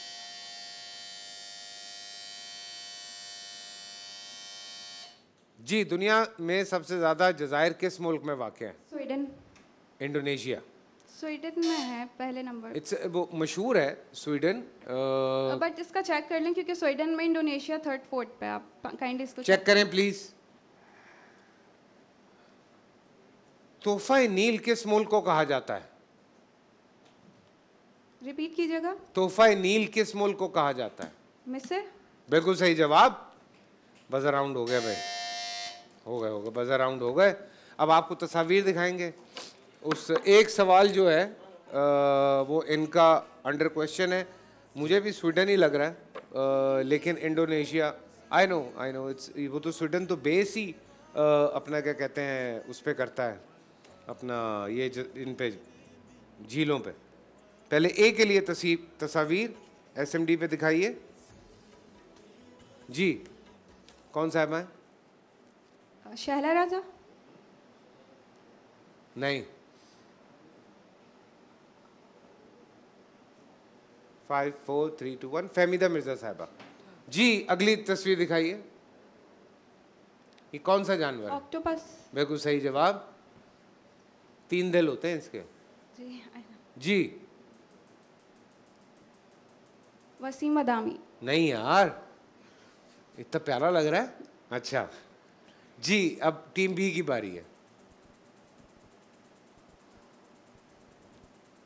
फैसल मेरी तस्वीर लगा दी तुम लोगों ने मतलब इतने फारिग चल रहे हो तुम लोग। हाँ जी अगली तस्वीर। आया सादिक बिल्कुल सही जवाब। लास्ट तस्वीर। शार्क। शार्क बिल्कुल सही। टीम सी आपके लिए। बहुत आसान तस्वीरें लगाई हैं यार आज। ये क्या है?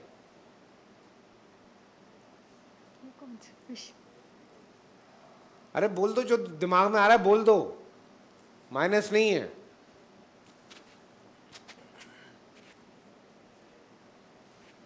फ़िश है पता नहीं क्या कह रही है? अरे बहुत आसान है। दो तीन नाम ले लो। मछलियों के दो दिए मछली है। हवा में उड़ने वाला जानवर नहीं है। समंदर का आखिरी मैमल है ये। वेल है। अगली तस्वीर दिखा। वेल का नहीं, वेल निकल गया दिमाग से। जी, अगली तस्वीर। हाँ जी नहीं पता असद कैसर साहब अगली तस्वीर। साहिल लोधी। हाँ इनका पता है। सार भाई का पता है। हैं तुम टीवी ज़्यादा देखती हो।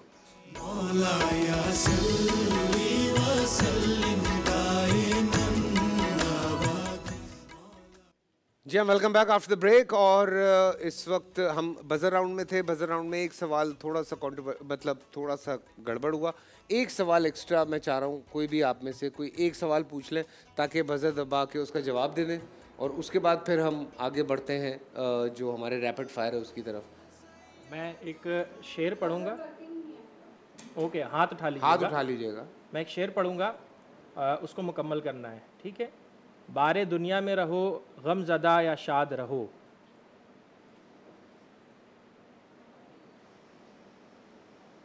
शायर का नाम? बहुत मशहूर शायर है। सेकेंड ईयर में अगर आपने तबसरा पढ़ा हो। कराची का पुराना नाम। कलाची। हो गया? चलें नोट कर लें। आयशा आपसे शुरू करेंगे? ठीक है टीम ए से आप क्वेश्चंस करेंगी। रैपिड फायर है पचास सेकंड जल्दी जल्दी करने होंगे। और साथ साथ जवाब भी देती जाइएगा। और फिर इस तरह से आपके लिए जो है वो तला साहब सवाल करेंगे और आपके लिए जो है हमारे शहबाज साहब सवाल करेंगे। तो टीम ए आपकी बारी है। थ्री टू वन गो पहाड़ी सिलसिले करारकुरम की बुलंद तरीन चोटी की कौन सी है? कीटू उभरते हुए सूरज की सरजमीन किस मुल्क को कहा जाता है? जापान। सही। बांग्लादेश किस के पार्लियामेंट का नाम बताइए। पास। मुल्क जातीय संसद। मुल्क यूरोगोए किस बर आज़म का बर आज़म में वाक़ है? जनूबी अमेरिका। क्रिकेट में पहली बॉल पर आउट होने वाले को क्या कहते हैं? Duck gold duck. सही। हुजूर अकरम सल्लल्लाहु अलैहि वसल्लम की दूसरी बीवी का नाम बताइए। मैमुना। हज़रत सौदा बिनते जमा इंजील किस नबी पर नाजिल हुई? ईसा हज़रत ईसा सही। मुगलिया सल्तनत के पहले बादशाह कौन थे? ज़हीरुद्दीन बाबर। सही। माहिदा लखनऊ किस साल में हुआ था? 1916 मशहूर नावल उदास नस्लें के। मुंस- अब्दुल्ला अब्दुल्ला हुसैन। वीसीआर किन अल्फाज का मुखफ़ है? वीडियो कैसेट रिकॉर्डर ताइवान के दारुल हुकूमत का नाम बताइए। सही? पाकिस्तान का सबसे छोटा डैम कौन सा है? वारसक। वर्सक डैम। बिल्कुल सही। जी बी आपके लिए तला साहब आपसे पूछेंगे। Three two one go Pakistan की पहली खातून मेजर जनरल का नाम बताएँ। बेनज़ीर भुट्टो। गलत। Major general Shahida Malik DVD किन अल्फाज का मुखफ़ है? पास। मशहूर किताब आब गम किसकी तसनीफ़ है? पास। मुश्ताक अहमद यूसफी क्या मंगोलिया एक लैंड लुक्ड यानी चारों तरफ़ से खुशकी से घिरा हुआ मुल्क है? यस सही। कंबोडिया के दारुल हुकूमत का नाम बताएँ? पास। पॉम्पी। पाकिस्तान का सबसे छोटा दरिया कौन सा है? पास। दरियाए रावी। हुजूर अकरम सल्लल्लाहु अलैहि वसल्लम की चौथी बीवी का नाम बताएँ? पास। हज़रत हफ्सा रज़ी अल्लाह ताला तकसीम बंगाल किस साल हुआ? 1956 गलत। 1905 पहाड़ी सिलसिला हिंदू कश की बुलंद तरीन चोटी कौन सी है? Mount Everest. गलत तर्च मीर मुल्क हंगरी किस बर आज़म में वाक़ है? बर आज़म यूरोप जबूर किस नबी पर हाथ नाजिल हुआ? हज़रत मूसा। हज़रत दाऊद अलैहिस्सलाम गलत पड़ोसी मुल्क भारत के पार्लियामेंट को क्या कहते हैं? लोकसभा क्रिकेट के मैच में स्कोर बराबर होने पर फातेह का फैसला कैसे किया जाता है? Super over. सही। बिल्कुल सही। जी। आधी रात डीवीडी का रह गया था। डीवीडी डीवीडी डीवीडी का डायनामिक वर्सटाइल डिस्क जी। आपकी बारी है। शहबाज साहब थ्री टू वन गो आधी रात की सरजमीन किस मुल्क को कहा जाता है? नॉर्वे। जी चलते हो तो चीन को चलिए किसका सफरनामा है? इकबाल। इब्ने इंशा। नेपाल की पार्लियामेंट का नाम बताएँ। पास। नेशनल पंचायत। पहाड़ी सिलसिले को है हिमालय की बुलंद तरीन चोटी कौन सी है? Mount Everest. यस। हांगकांग किस बर आज़म में वाक़ है? एशिया में। बर आज़म एशिया बिल्कुल सही। पाकिस्तान का सबसे छोटा शहर कौन सा है? हैदराबाद। झेलम तकसीम बंगाल को किस साल मंसूख किया गया? पास। 1911 तोरेत किस नबी पर नाजिल हुई? हज़रत मूसा बिल्कुल सही क्या मालदीव एक लोन लैंड लॉक चारों तरफ़ से खुशकी से घिरा हुआ मुल्क है? जी। जी नहीं। क्रिकेट में मुसलसिल तीन गेंदों पर तीन विकेटें लेने को क्या कहा जाता है? बिल्कुल सही। ईरान के आखिरी बादशाह का नाम बताएँ। पास। जी रजा टाइम खत्म हो गया। लाइए भाई रिज़ल्ट लाइए ज़रा जल्दी से ताकि हम आगे बढ़ें अपने तकरीरी मुकाबले की तरफ़। अभी पूड़ियाँ बन रही हैं। थोड़ी देर में पता चलेगा क्या बन रहा है। जी रिज़ल्ट आ जाए तो फिर हम बता देते हैं आपको। लेकिन रिज़ल्ट आने से पहले मैं आपको ये बताना चाहता हूँ कि ओजी डेवलपर्स की तरफ़ से हमारे पास गिफ्ट हैम्पर है जो रनर अप के साथ जाएगा। खालिद स्वीट की तरफ़ से हमारे पास गिफ्ट हैम्पर है, जो रनर अप के साथ जाएगा। और वाइल्ड वेंचर की तरफ़ से हमारे पास एक लाख रुपए की फैमिली मेंबरशिप है, जो कि आज के विनर के साथ जाएगी। तो ये पकड़ा दें मुझे ज़रा। ये पकड़ा दें। जो भी विनर होते हैं, उनके साथ ये चला जाएगा। और जी रिज़ल्ट आ गया है। हमारी टीम सी साठ पे है टीम बी सत्तर पे है, और टीम ए सौ पर है। तो आप आज की अ, हमारी विनर करार पाई हैं। आइए ये अपना अ, इनको ये इनके हवाले कर दें। इनका तोहफ़ा। पूरे एक साल की मेंबरशिप आपको फ्री मिल गई है जी। और सिर्फ़ ये अभी जीतने पे मिली है। जब आप ग्रैंड आप लोग जीतेंगे यहाँ पे मुकाबला तो उसके बाद ओजी डेवलपर्स की जानब से हमारे पास बाइक्स भी हैं। हमारे पास यहाँ पे एल भी हैं और भी बहुत सारे तहफ़ आ रहे हैं so thank you OG developers और ये लीजिए जी खालिद स्वीट की तरफ़ से आपके लिए। ओजी डेवलपर्स की तरफ़ से ये आपके लिए। आप खाली हाथ मत जाइए, वो तो मिली गई है, लेकिन साथ में ये खाली स्वीट्स की तरफ़ से ये भी आप लेके जाइए। और हम आगे बढ़े या हमें ब्रेक लेना है? एक मिनट, क्या बात करूँ मैं, मुझे बताएँ? जी, छोटा सा ब्रेक लेते हैं ताकि यहाँ पे सेटअप चेंज हो जाए।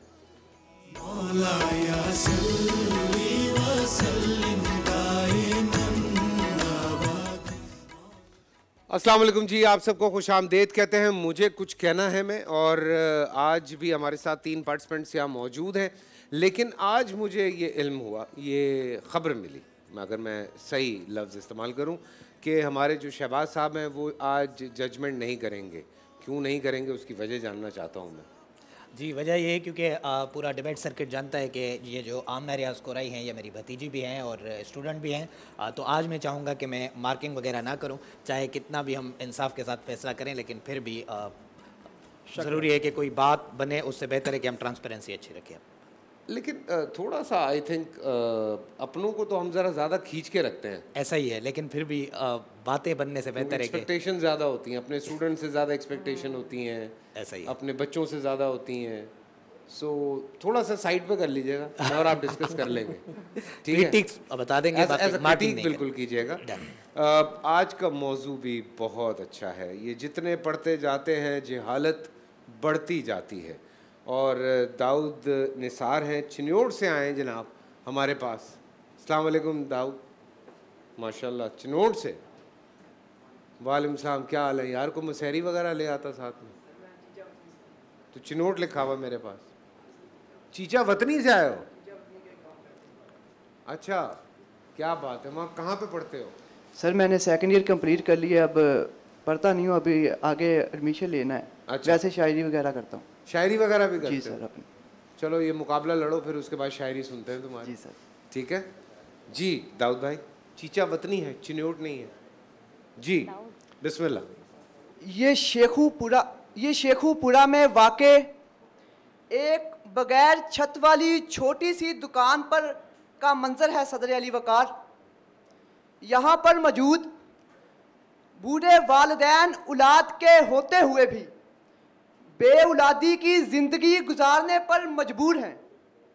ये जो औलाद के नाज नखरे अपनी पलकों पर उठाया करते थे, आज अपनी झुकी हुई कमर पर उसी औलाद की धुतकार का वदन उठाए, बेयारो मददगार अपने उस बेटे की राह तक रहे हैं, जो बहुत बिज़ी है। और उस आला तालीम याफ्ता की बड़ी कंपनी के मैनेजर साहब के पास ना तो अपने वालदेन को रखने की जगह है और ना ही देने के लिए वक्त कि सदर अली वकार अपने कुत्ते को अपने साथ बिस्तर पर सुलाने वाले, ये वेल एजुकेटेड लोग जब अपनी तहजीब को अपने पैरों तले रोंदते हुए अपने वालदेन को ओल्ड एज होम में छोड़कर आते हैं तो मुझे ये शेर याद आ जाता है। रही तालीम मशरक में, ना मगरिब में रही गैरत, ये जितने पढ़ते जाते हैं, जहालत भरती जाती है।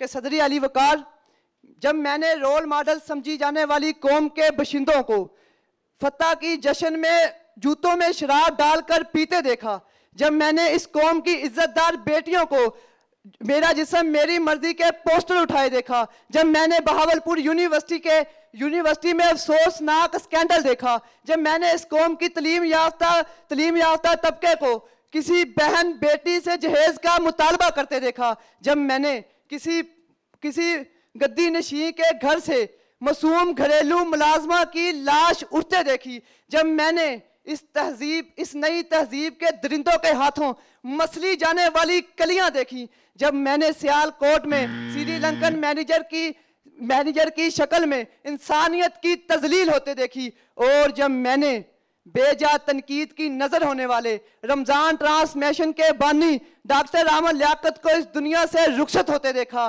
तो मेरे दिल से एक ही आवाज़ आई। रही तालीम मशरक में न मगरिब में रही गैरत। ये जितने पढ़ते जाते हैं जहालत भरती जाती है। ये जितने पढ़ते जाते हैं जहालत भरती जाती है। आप सब किस किस्मत का बहुत शुक्रिया। इलाके का काफ़ी असर है इनके लहजे पे। मादरी ज़ुबान का असर है। काफ़ी असर है क्योंकि हमारे हमारे पंजाब में बहुत ज़बर लग जाता है ऐसा ही। बहुत सारी चीज़ों पे। तो वो वाला मसला था। बिल्कुल तो अब मैं उस पर दरखा वकालत ही कर सकता हूँ उसकी सिर्फ़। एक्सेप्टेबल है। ठीक है? Thank you thank you Amna Riaz कोरे बहरिया फाउंडेशन कॉलेज मोरो से आई हैं। क्या बात है जी। बिस्मिल्लाह। मालूम में इजाफ़ा दर इजाफ़ा। इल्मो अमल के सरबलंद होने की ज़मानत नहीं होती सदर आली वक़ार।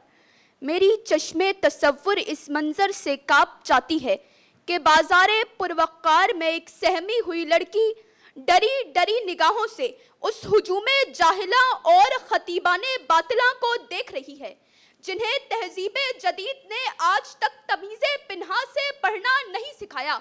इसीलिए तो आज ये कमीज़ निस्वा से दुआ को दगा पढ़ते हुए महरम को मुजरिम बना रहे हैं। ये अक्लो दानाई की बीनाई से महरूम वो नाबीना हैं, जिन्हें हलवा के हरूफ में किताब मुकद्दस के नूरानी लफ्जों का जलवा दिखाई देता है कि ये शम्मा के दीवाने तो हैं, लेकिन इल्म के परवाने नहीं। ये जहालत के नजराने तो हैं, लेकिन दानिशमंदी के खजाने नहीं तो फिर आज मैं इन इल्म का दावा करने वाले जहल के अलमबरदारों से ये क्यों ना कहूँ कि रही तालीम मशरक में, न मगरब में रही गैरत, ये जितना पढ़ते जाते हैं, जहालत बढ़ती जाती है।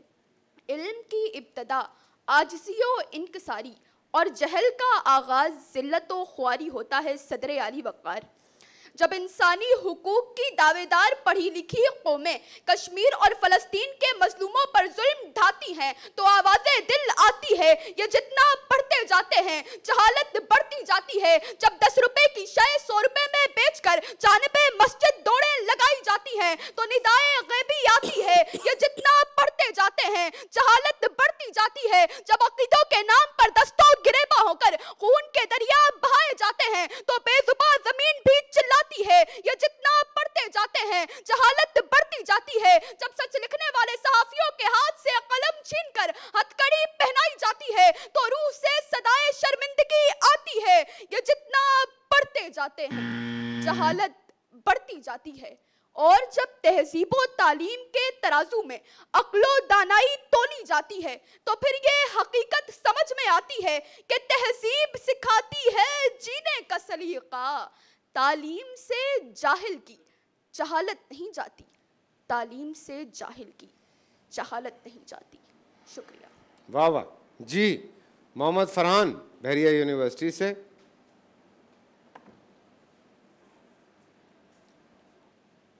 तैयार हैं आप? बिस्मिल्लाह। जी बिस्मिल्लाह। एक minute. Three three two one. जी।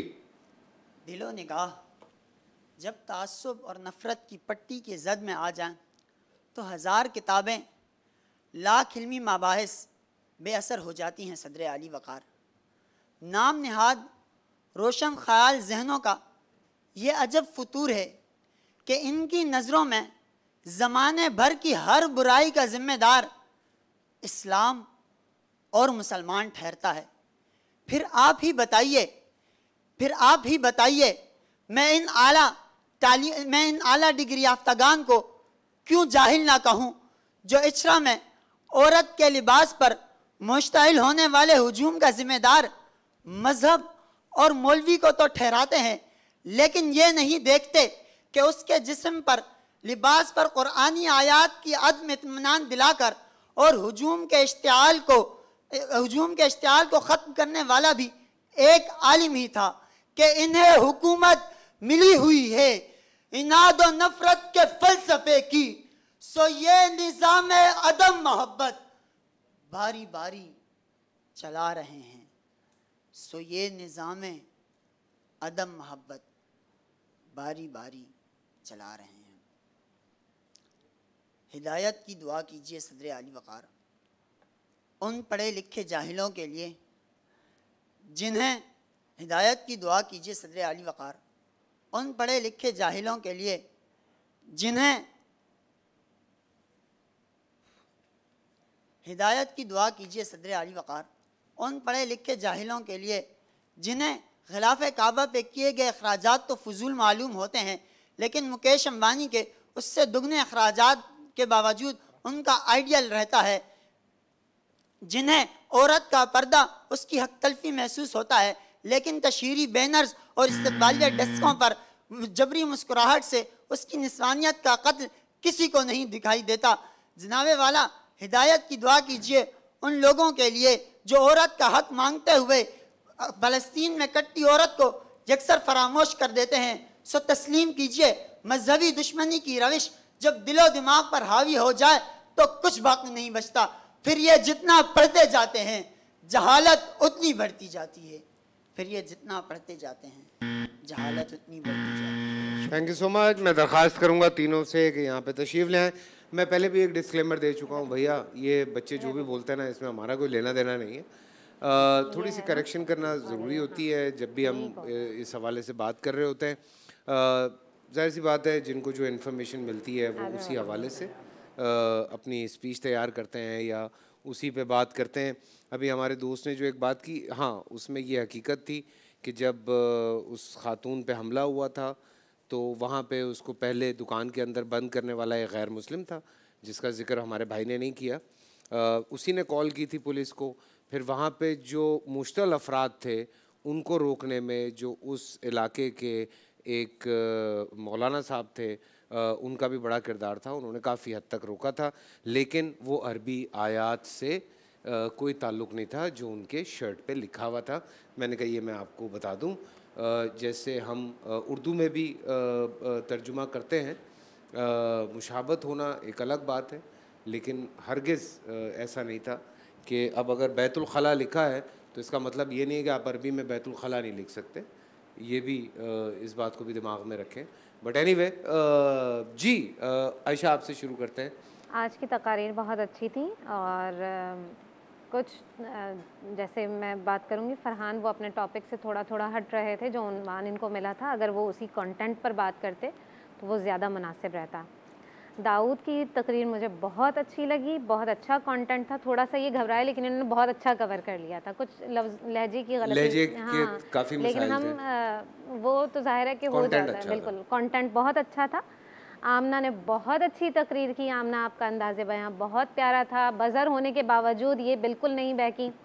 कॉन्फिडेंट रही, बहुत अच्छा लगा, बहुत खूबसूरत तकरीर की आपने भी। जी मुझे जो है वो आज की बात से जावेद अख्तर साहब याद आ गए कि उन्होंने कहा था कि इल्म की शायद कोई हद हो, लेकिन जहालत की कोई हद नहीं होती है।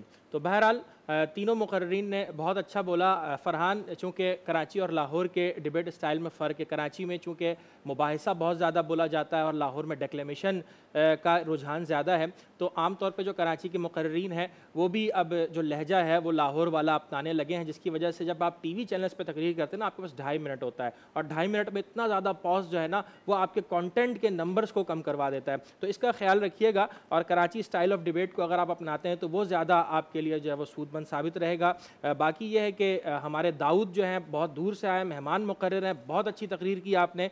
बस ये है कि चंद बातें हम ये बता जो रहे होते हैं ना इसका मतलब ये नहीं है कि हमें भी कोई बहुत ज़्यादा प्योर उर्दू खालिश उर्दू हमको आती है लेकिन सिर्फ़ हम इसलिए बता रहे हैं कि चलें तसी होती चली जाए। तकरीर में जब भी आप उर्दू तकरीर कीजिए उसमें उर्दू के अल्फाज इस्तेमाल कीजिए तो ज़्यादा बेहतर है। आपने कहा कि वो इतने बच्चे बिज़ी होते हैं कि वालदेन को टाइम नहीं अगर आप बिज़ी की जगह मसरूफ़ लफ्ज़ इस्तेमाल करते तो ज़्यादा अच्छा लगता हाँ, हाँ एजुकेटेड के जगह पढ़े लिखे या तालीम याफ्ता लफ्ज़ इस्तेमाल करते तो बहुत अच्छा होता। एक और आखिरी बात यह है काफ के हवाले से कि जो हुरफ कलकला होते हैं ना, उसमें हमें अपनी आवाज़ को उछाल उछालना होता है। जैसे सदर अली वक़ार, बाज़ लोग वक़ार कह देते हैं, बाज़ लोग इसको काफ पढ़ देते हैं, सदर अली वक़ार। तो सदर अली वक़ार होता है तो जितने भी हुरफ कलकला हैं, उनकी अदाई जो है, उसके ऊपर काम करने की ज़रूरत है। बाकी आज बहुत अच्छा मवाद सुनने को मिला, ख़ास तौर पर आमना आपका, और मैं आखिरी में शहबाज भाई की भी तारीफ़ करूँगा कि ये बहुत गुड गेस्चर है कि इन्होंने जो है, वो वॉल्टरली कहा कि मैं जो है, यहाँ पर नंबरिंग्स नहीं करूँगा। तो लिहाजा ये भी एक ट्रांसपेरेंसी की बहुत बड़ी मिसाल है। लेकिन थोड़ी सी जजमेंट तो हम आपकी सुनेंगे। बस मुझे लग रहा है कि आज तला भाई ने सारी चीज़ें कवर कर दी हैं। मैंने तलफ़ुज़ की ही कुछ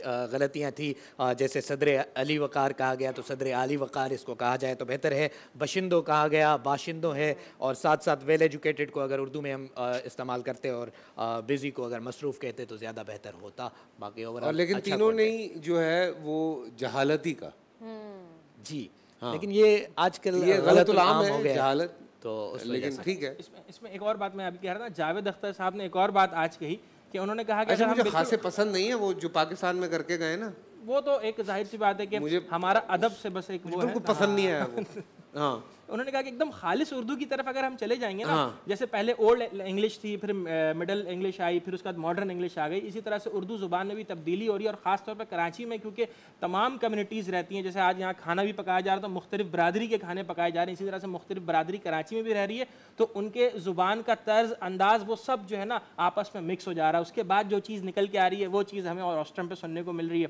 तो इसमें भी थोड़ा सा जो है ना हमें हाँ लेकिन जो एक ज़बान का हुस्न है उसको उसको थोड़ा सा तो अगर आप बरकरार छूते रखें, रहें हाँ। और बरकरार रखते रहें तो फिर उसका और मज़ा आता है। कुछ बच्चे आके जब यहाँ पे स्पीच करते हैं और जब उनका अंदाज होता है बात करने का तो वो बहुत आपको जो है ना एक मज़ा आता है कि अच्छा यार क्या बात है। महसूस होते हैं। महसूस होते हैं। मतलब ये देखें ये हमारी ना एज एन एक्टर भी कई दफ़ा हम भी सेट पे ही हमारी ज़िम्मेदारी हो जाती है।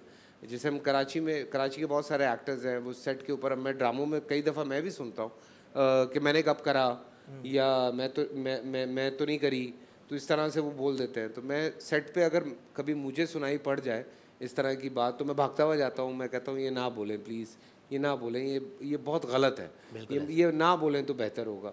तो वो थोड़ा सा उस पर अगर हम थोड़े थोड़े नोक झोंक है ये मैं माजरत चाह रहा हूँ लेकिन ये थोड़ी सी नोक झोंक है इसको अगर सुधारते जाएँ तो आने वाले वक्त में अ, मतलब मेरी भी उर्दू कोई बहुत अच्छी नहीं है लेकिन बात यह है कि थोड़ा सा आप उसको बेहतर करते चले जाते हैं करते चले जाते हैं। आने वाले वक्त में हमें तो बरकरार रखना है ना एक चीज़ को।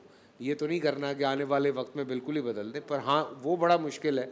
जैसे ये बच्ची जो है इसका मोरों से ताल्लुक़ है उसका चीचा वतनी से है तो वो बड़ा मुश्किल होता है अपनी अपनी अंदाज को बदलना।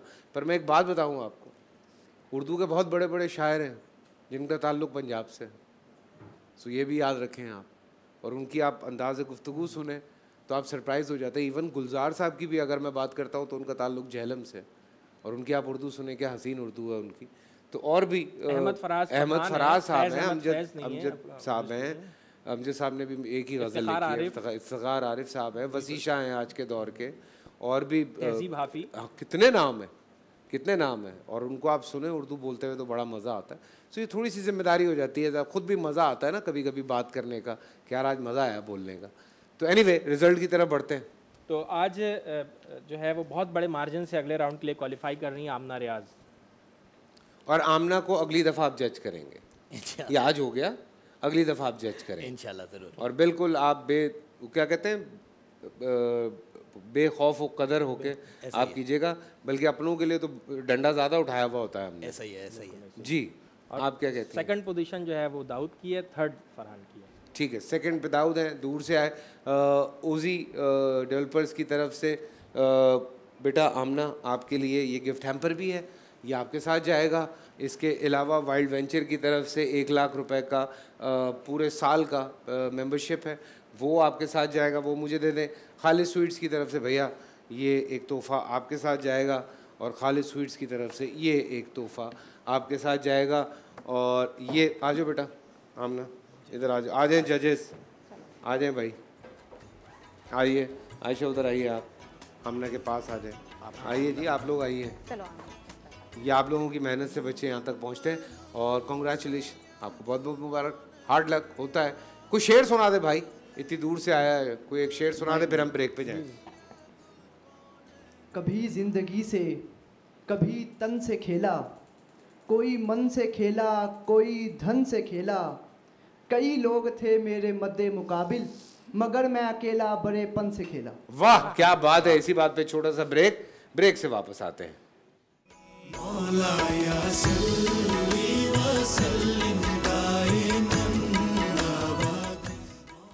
जी हाँ वालेकुम। आप सबको खुश आमदेद मज़ेदार इफ्तार जारी है।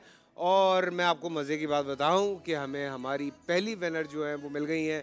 बड़ी मज़े की रेसिपी उन्होंने हमें बना के भेजी इस्लामाबाद से। और उन्होंने रेसिपी बनाई मायो गार्लिक रोल और अब वो आपने बनाने हैं। ओके मैंने बनाने हैं जी आज। उनकी रेसिपी हम आपको देंगे। ठीक है। और वो रेसिपी आप बना के देंगी। ओके। अ, जो हमारी विनर हैं जिन्होंने भेजा हमें मायो गार्लिक रोल की रेसिपी। उन्होंने जीता है। और मारिया ज़ुबैर हैं इस्लामाबाद से। कॉन्ग्रेचुलेशन बहुत बहुत मुबारक मा, मारिया ज़ुबैर। ओजी डेवलपर्स की तरफ़ से एलईडी जो है अ, वो आप जीत गए हैं। देखें मेरी मेरे बोलने में इतनी ताकत है कि लोग ऐसे उठ के भाग जाते हैं। सो ओजी डेवलपर्स की जानब से आप जीत गई हैं। ये एलईडी जो इस वक्त आपको स्क्रीन पे दिखाई दे रही है।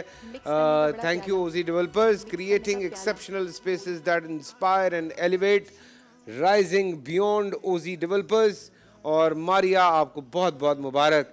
और आप लोग, मैं कह रहा हूँ, आप लोग रोज़ जीत सकते हैं। ज़बरदस्त किस्म की रेसिपीज़ बना के भेजिए, आप लोग रोज़ जीत सकते हैं। ओजी डेवलपर्स की तरफ़ से हमारे पास बहुत सारी एल हैं जो हम आपको दे सकते हैं। सो जनाब, आज आप क्या बना? आप हाथ धो रही हैं? हाथ धो रहे हैं जी हाथ धोए बगैर हम किचन में जा कैसे सकते हैं? क्योंकि हमारा जो पार्टनर है डिटॉल इसका स्किन केयर फार्मूला हमें रखता है पिंपल्स फैलाने वाले जरासीम से हमेशा दूर रखता है और इसकी बहुत ही प्यारी सी खुशबू हमें देती है फ्रेशनेस का एहसास। तो जनाब, आप भी डिटॉल यूज़ किया करें अगर आप फ्रेश रहना चाहते हैं। ठीक है जी, क्योंकि आपको पता है कि healthy skin is beautiful skin और राइट जी, हमने हैंड वॉश कर लिए हैं और आज जो हमारी विनर हैं, उनकी रेसिपी हम यहाँ रेप्लिकेट कर रहे हैं, जो बता चुके हैं फैसल आपको कि हमारे पास आई है इस्लामाबाद से। तो हमने क्या किया? यहाँ पे थोड़ा सा हमने जो है वो ट्रिकी जो है वो एक एलिमेंट रखा है, वो ये रखा है कि आपको पता है कि हमारा पार्टनर है सबरोसो और सबरोसो की कंप्लीट रेंज जिसमें फ्राइड आइटम्स हैं, हमारे पास बहुत ढेर सारे। उसमें से हमने आज जो है वो पिकअप किया है इनका सीख कबाब और उसके साथ हमने इनके लिए हैं फ्रोज़न पराठे। मारिया ज़ुबैर की जो रेसिपी थी, उसमें होममेड पराठे थे, वो मैं आपको बताती चलूँ कि उसमें हमने क्या करना था पराठों में कि आपने लेना है एक किलो मैदा एक किलो मैदे के अंदर आपने डालना है two tablespoon of ghee. Oil नहीं यूज़ कीजिएगा, घी यूज़ कीजिएगा। एक चम्मच नमक, एक चम्मच मिर्च सॉरी नॉट मिर्च, एक चम्मच चीनी राइट वो डालने के बाद आपने उसको अच्छी तरह से गूंद लेना है। गर्म पानी से गूंदिएगा ताकि आपका आटा सॉफ्ट रहे। ठीक है, उसके बाद आपने उसके पेड़े बना के रखने हैं और आपने उसको डीप फ्राई करना है। लेकिन यहाँ पे हम क्या करेंगे? हम यहाँ पे यूज़ करेंगे जनाब सबरोसों के बड़े ही ज़बरदस्त से पराठे हैं हमारे पास। ये पराठे जो हैं आज हम आपको बताएँगे कि इससे रोल कैसे बनाए जा सकते हैं। और इसके साथ हम यूज़ कर रहे हैं सबरोसों के ही सीख कबाब। ठीक है जी, ये हम यूज़ करेंगे। ठीक हो गया। मीन हम क्या करते हैं कि हम आपको इसके डिप बता देते हैं जिसकी वजह से जो है, ये रोल बहुत ही यमी बनते हैं और बहुत अच्छे बनते हैं। ठीक है? अच्छा इसमें हम आपको ना कुछ वेरिएशंस भी बताएँगे। ठीक है? उसमें वेरिएशन में आप ये करेंगे कि देखें मेयो गार्लिक रोल तो हम बना ही रहे हैं, लेकिन हम इसके अंदर कैसे हम इसको रायते में कन्वर्ट कर देंगे, कैसे हम इसके साथ ग्रीन चटनी भी यूज़ कर सकते हैं, वो मैं आपको बताऊँगी। अभी हम क्या कर रहे हैं कि अभी हम इसमें ले रहे हैं तकरीबन आधा कप हमने इसमें लेना है दही। इसके साथ हमने लेना है एक कप मेयोनीज़ का। वो ऐड करेंगे। ठीक है जी। उसके बाद हम इसमें डाल रहे हैं तकरीबन वन टीस्पून काली मिर्च, one teaspoon sugar, one teaspoon salt. ठीक है? और जनाब, आपने इसके साथ अब मज़ीद क्या करना है कि इसमें डालना है आपने कुटा हुआ लहसुन। तकरीबन एक से दो टेबल स्पून लेने हैं, वो आपने डालने हैं। इसका जब चंकी फ्लेवर आपके मुँह में आता है ना तो बड़ा आप इंजॉय करते हैं। और इसके साथ हम डालेंगे तकरीबन one tablespoon lemon juice ठीक हो गया जी? ये हमने डाला और अब हम इसको अच्छी तरह से मिक्स कर लेंगे। ठीक हो गया जी? हम इसको इस तरह मिक्स करेंगे और हम आपको अब फ्राई करके भी दिखाएँगे कि हम किस तरह से इसको सबरोसों के पराठों को यूज़ करेंगे। अच्छा इसमें पराठे में भी ना आपके पास दो ऑप्शन हैं, ठीक है? आप या तो इसको डीप फ्राई कर लीजिए, ठीक है? और वरना आप डीप फ्राई नहीं करना चाहते जी, आप वेट वॉचर हैं, आपको जो है ज़्यादा ऑयल नहीं चाहिए तो आप इसके साथ फिर क्या करेंगे कि आप इसको शेलो फ्राई कर लेंगे।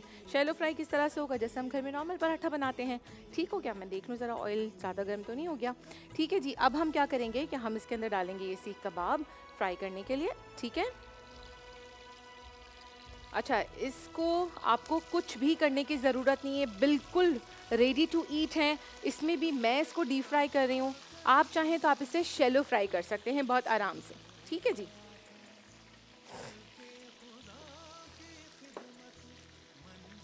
ओके यहाँ पे जब तक ये फ्राई हो रहा है, चटनी दे दीजिए ग्रीन वाली। अच्छा ग्रीन चटनी की रेसिपी मैं आपको बताती हूँ। मैंने आपसे कहा था हम इसकी वेरिएशन आपसे शेयर करेंगे। ये तो हमारी विनर ने भेजी है, मारिया जुबैर ने रेसिपी भेजी है। आपने ग्रीन चटनी के लिए क्या करना है आपने एक कप धनिया लेना है फ्रेश कोरिएंडर उसके साथ आप मिंट लीव्स लेंगे, एक कप ठीक हो गया, दो टेबल स्पून आपने लेना है चाट मसाला, एक टीस्पून आपने लेना है नमक, तीन से चार आपने लेनी है हरी मिर्चें। और यहाँ मैंने आपको दिखाने के लिए रखा है, ये मैंने अभी अभी इसको जो है ना क्रश किया है। भुना है मैंने इसको, ज़ीरे को। और भुनने के बाद मैंने इसको जो है अभी चटनी में शामिल किया था, ठीक है? यानी कि धनिया, पुदीना, ज़ीरा, हरी मिर्च, नमक और उसके साथ हमने डाला है जनाब ज़ीरा। ये डालने के बाद आप इसको ब्लेंड करें, आपकी ग्रीन चटनी तैयार आ रही ऑन द वे है, ठीक है जी? जब तक हम इसको फ्राई कर रहे हैं मीन हम आपको एक पराठा भी दिखा देते हैं कि आप ये देखिए कि इतना ज़बरदस्त इनका लच्छेदार पराठा है, कुछ नहीं करना, आपको स्ट्रेट अब ये निकालना है। अच्छा मैं देखूँ, ज़रा सा ऑयल गर्म है। ठीक है, वैसे मैंने करके रखे हैं आप लोगों के लिए फ्राई, ये देखिए, निकालना है आपको। अच्छा इसकी एक ट्रिक मैं आपको बताऊँ, ठीक है जी, ये हमारा गैस के अंदर, ठीक है जी। अब आपने क्या करना है कि आपने बस इस चीज़ का ध्यान रखना है कि जब आपने इसको फ्राई करना है ना, उसी वक्त आप फ्रीज़र से निकालें, ताकि ये सॉलिड रहे। जब सॉलिड होगा तो ये बहुत अच्छा सा फ्राई हो जाएगा। अदरवाइज़ जो है पराठा आपको थोड़ा सा ये होगा कि वो इसके साथ जो सेलो रैप है, वो थोड़ा सा आपको लगेगा स्टिकी सा हो रहा है तो परेशान नहीं हो जाइएगा। ये देखें इसके अंदर। ठीक है जी, इस तरह आप करेंगे। और एक और चीज़, आपने इसको फ़ौरन बड़े प्यार से ऐसे करके टर्न करना है।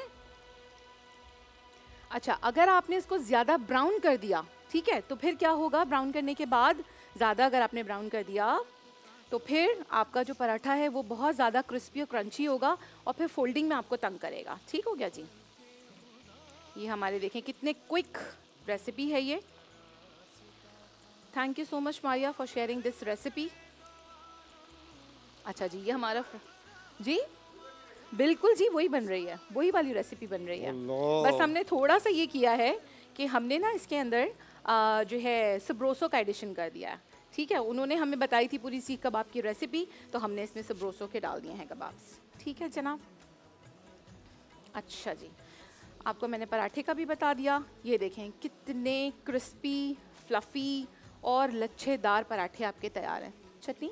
जालिम लोग हैं ओके जी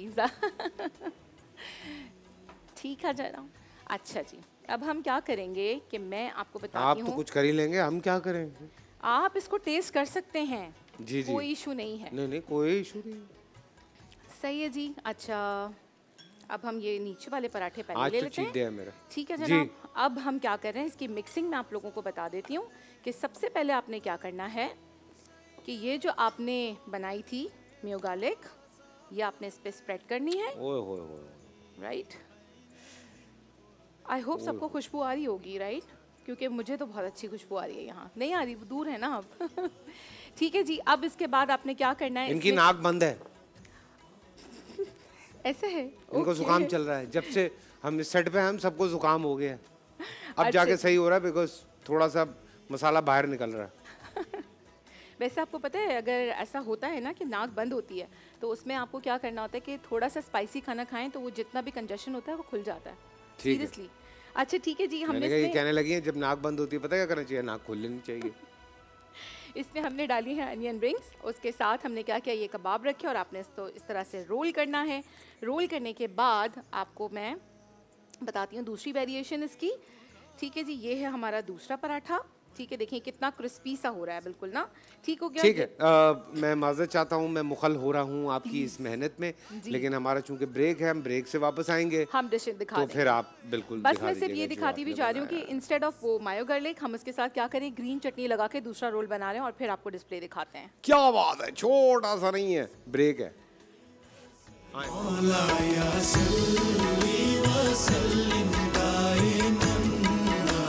और इस वक्त हमारे साथ चूँकि हमारा मज़ेदार अफ्तार का सेगमेंट ख़त्म हो रहा है और बड़ी मज़े की आज रेसिपी जो विनर रेसिपी है हमारी इस वीक की अ, वो ओजी डेवलपर्स की तरफ़ से एलईडी जीत चुकी हैं। मरियम आपको मारिया। बहुत हैं? मारिया जुबैर। मारिया जुबैर। जी। जी मारिया। कॉन्ग्रेचुलेशन और ये वो रेसिपी जो उन्होंने बना के भेजी थी थोड़ा सा आप दिखा दें जी बिल्कुल। ये मैं दिखा दूँ। अच्छा इसमें जो वेरिएशन थी वो हमने इसकी की थी चटनी के साथ। वो जो हमने डिप बनाई थी वो भी आप इसके साथ रख सकते हैं।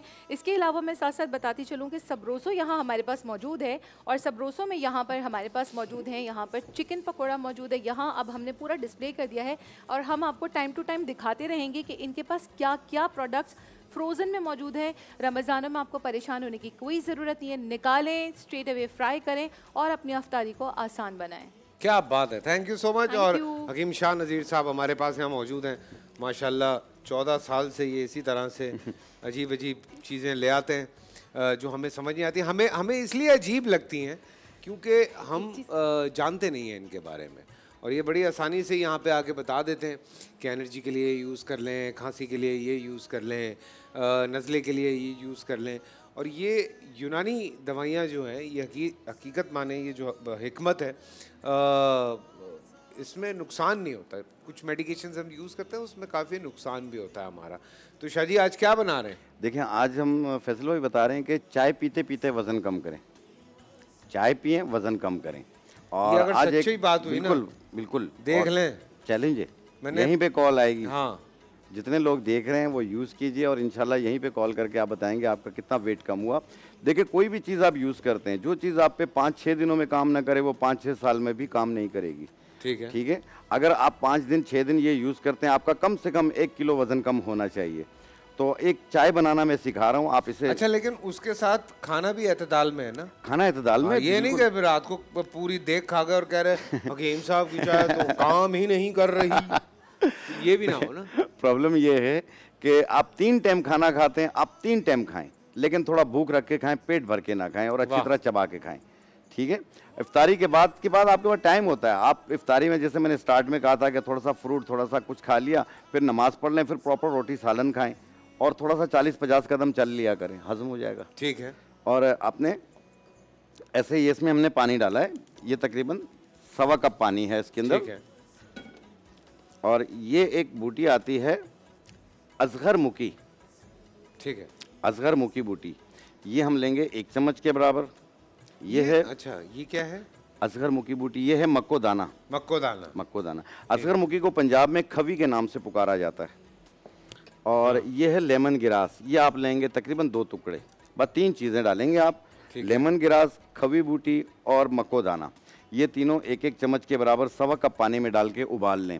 ये कहवा बन गया। एक कप रोज़ाना रात को पिएँ। इसके और बेनिफिट्स ये हैं कि ये आपके फैटी लीवर को भी दूर करेगी आप ये रोज़ाना ताज़ा बनाना है। रोज़ाना ताज़ा बनाना है आपने। ठीक है। इसकी एक कप इसमें हनी मिला सकते हैं आप। ठीक है। और दूसरा चीनी वगैरह नहीं मिला सकते हैं आप। अगर बगैर कुछ मीठा किए अगर शुगर स्पाइक ना करनी हो तो? हाँ हाँ बिल्कुल। आप अच्छा जायका भी बनेगा। ये कोई कड़वा वगैरह नहीं होगा। जायका अच्छा होगा। इसका सब चाय का जायका देगा आपको। इस तरीके से इसका एक कप बनाना है। दूसरी चीज़ ये है कि अब पेट हिप्स थाइस गर्दन के पीछे की चर्बी ये बढ़ रही है। बहुत यानी ठोस हो गए बहुत सारी चीज़ें इस्तेमाल की हैं लेकिन वेट कम नहीं हो रहा। तो आप ये एक कप बना कर पिए और इसके साथ एक सफ़ूफ बनाना सिखा रहा हूँ आप अपने घर पे बनाइएगा। इसमें आपने डालना है ये ऊँट कटारा बूटी। हैं? ये ऊँट कटारा। ये ऊँट निकालता है मुँह से? नहीं नहीं ऊँट नहीं निकालता ये ऊँट कटारा है ये कांटेदार बूटी है जी जी। ऊँट कटारा। ठीक है? ये लीवर के लिए भी बहुत बेहतर है ये वर्म सूजन को ख़त्म करती है ये इसका पाउडर है ये हम लेंगे पचास ग्राम। ठीक है। ये है सुनोबर के पत्ते सुनोबर के? सुनोबर। ये इसका पाउडर है ये भी हम लेंगे पचास ग्राम। सुनोबर पत्तों के साथ क्या कर रही है? बस पता नहीं क्या कर रही है। अच्छा। ये है कलौजी। ठीक है। ये भी हम लेंगे पचास ग्राम। ज़ीरा सफ़ेद ये इसका पाउडर है ये भी हम लेंगे पचास ग्राम। चार चीज़ें हैं टोटल ये।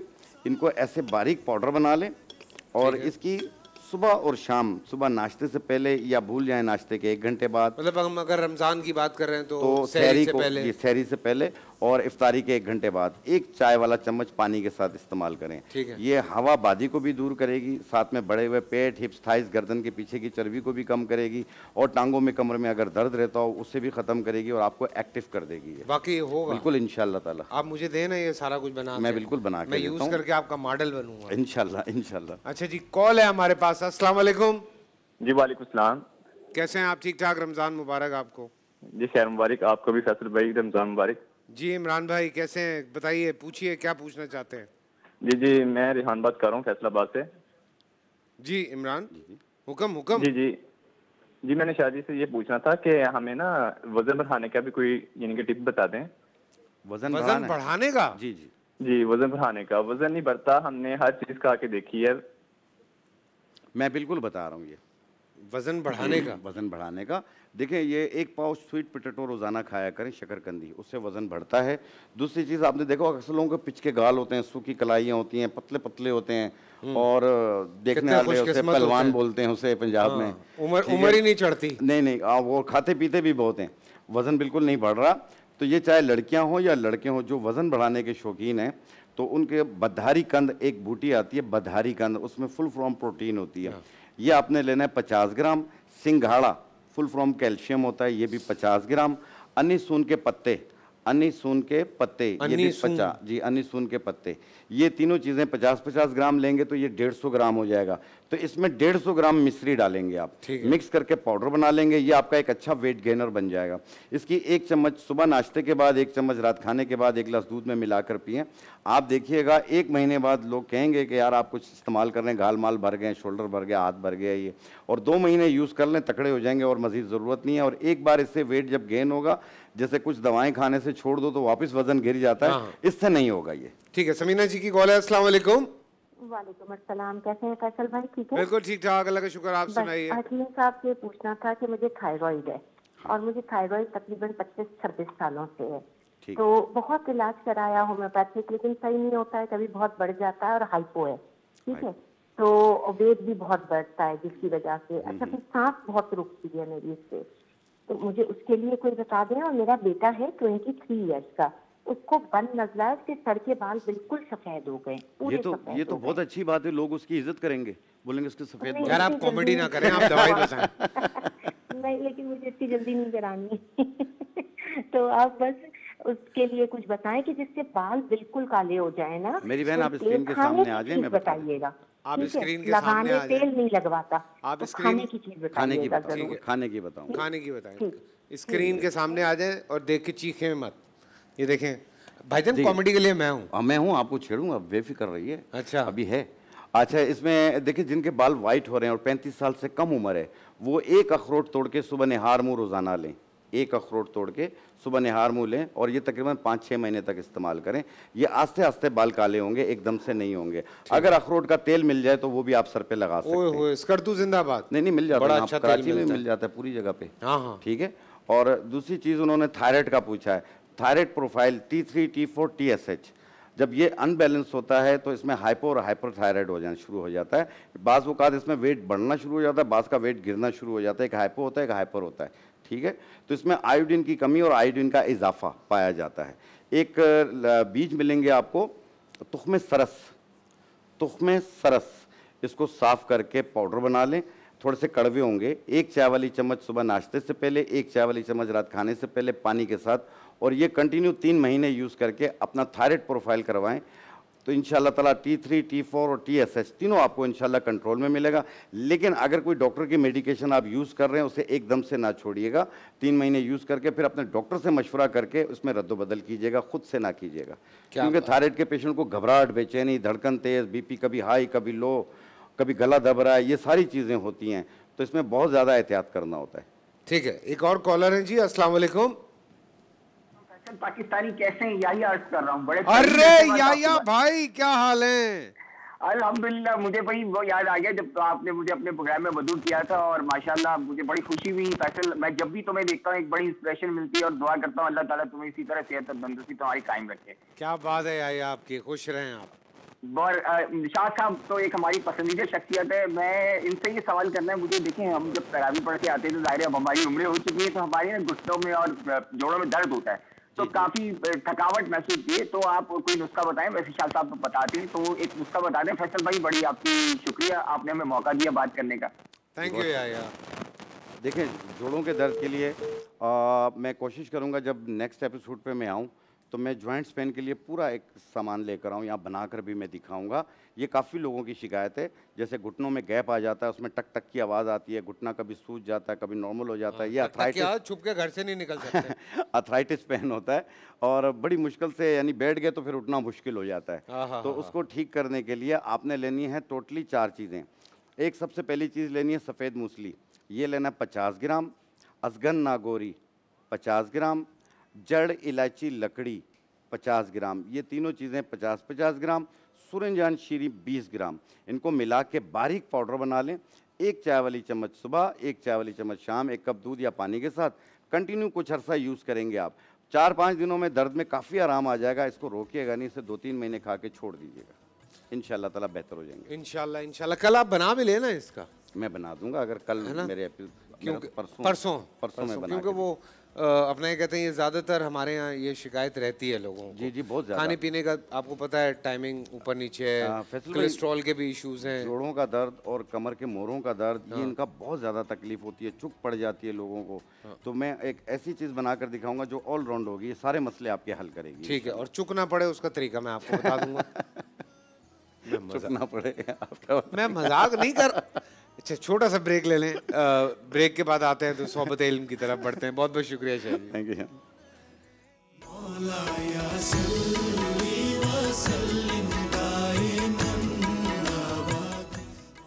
खुश है ये ये हमारे प्यारे सलमान आलम साहब हमारे साथ होते हैं यहाँ पे।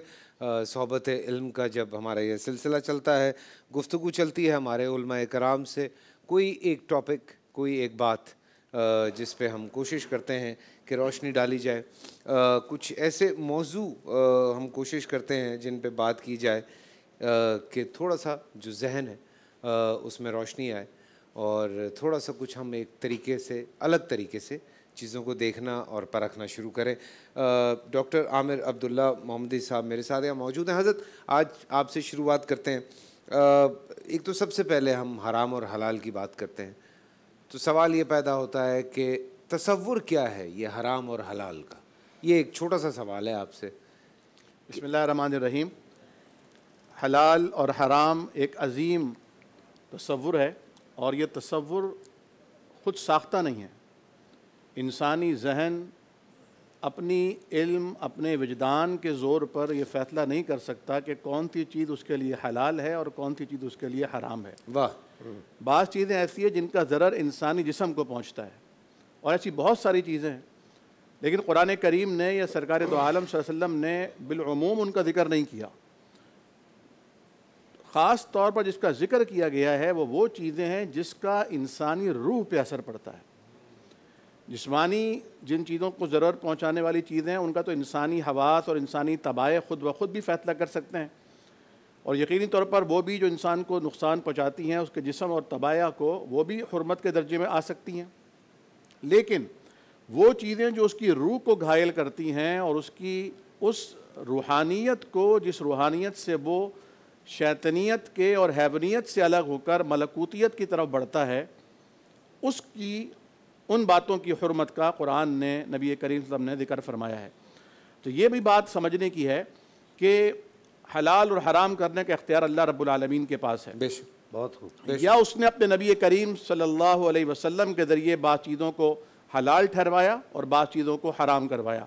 यानी वो चीज़ें जिन्हें खुद साख्ता लोगों ने अपने ऊपर हराम कर लिया था नबी आया और नबी ने उस बोझ को उनके सरों से और कांधों से उतार दिया। अल्लाह ये एक बहुत इंपॉर्टेंट मैटर है कि नबी करीम सल्लल्लाहु अलैहि वसल्लम उस वक्त जब वही का नज़ूल हो रहा होता था और जब तक कुरान करीम मुकम्मल तकमील पर नहीं पहुँचा था, आपने मना फरमा दिया था कि सवालात की कसरत ना करो। क्योंकि वो चीज़ जो अल्लाह ताला ने जिससे मबाद छोड़ा हुआ है, जिसकी हरमत का फ़ैसला नहीं आया, कहीं ऐसा ना हो कि तुम्हारे सवाल करने से उसकी हरमत का फ़ैसला आ जाए। तो ये कायदा है कि जिस चीज़ को हलाल कर दिया गया है, वो क़यामत तक हलाल है। जिस चीज़ को हराम ठहरा दिया गया है, वो क़यामत तक हराम है। और जिस चीज़ के बारे में शरीयत खामोश है, उस चीज़ को सारी दुनिया मिलकर भी हराम नहीं कर सकती। इन्नल हलाला बैन वल हराम बैन अल्लाह के हबीब ने फरमाया कि हलाल वाजे हैं और हराम भी वाजे हैं। व बैन उमा मुश्तबहात और मुतशाबहात.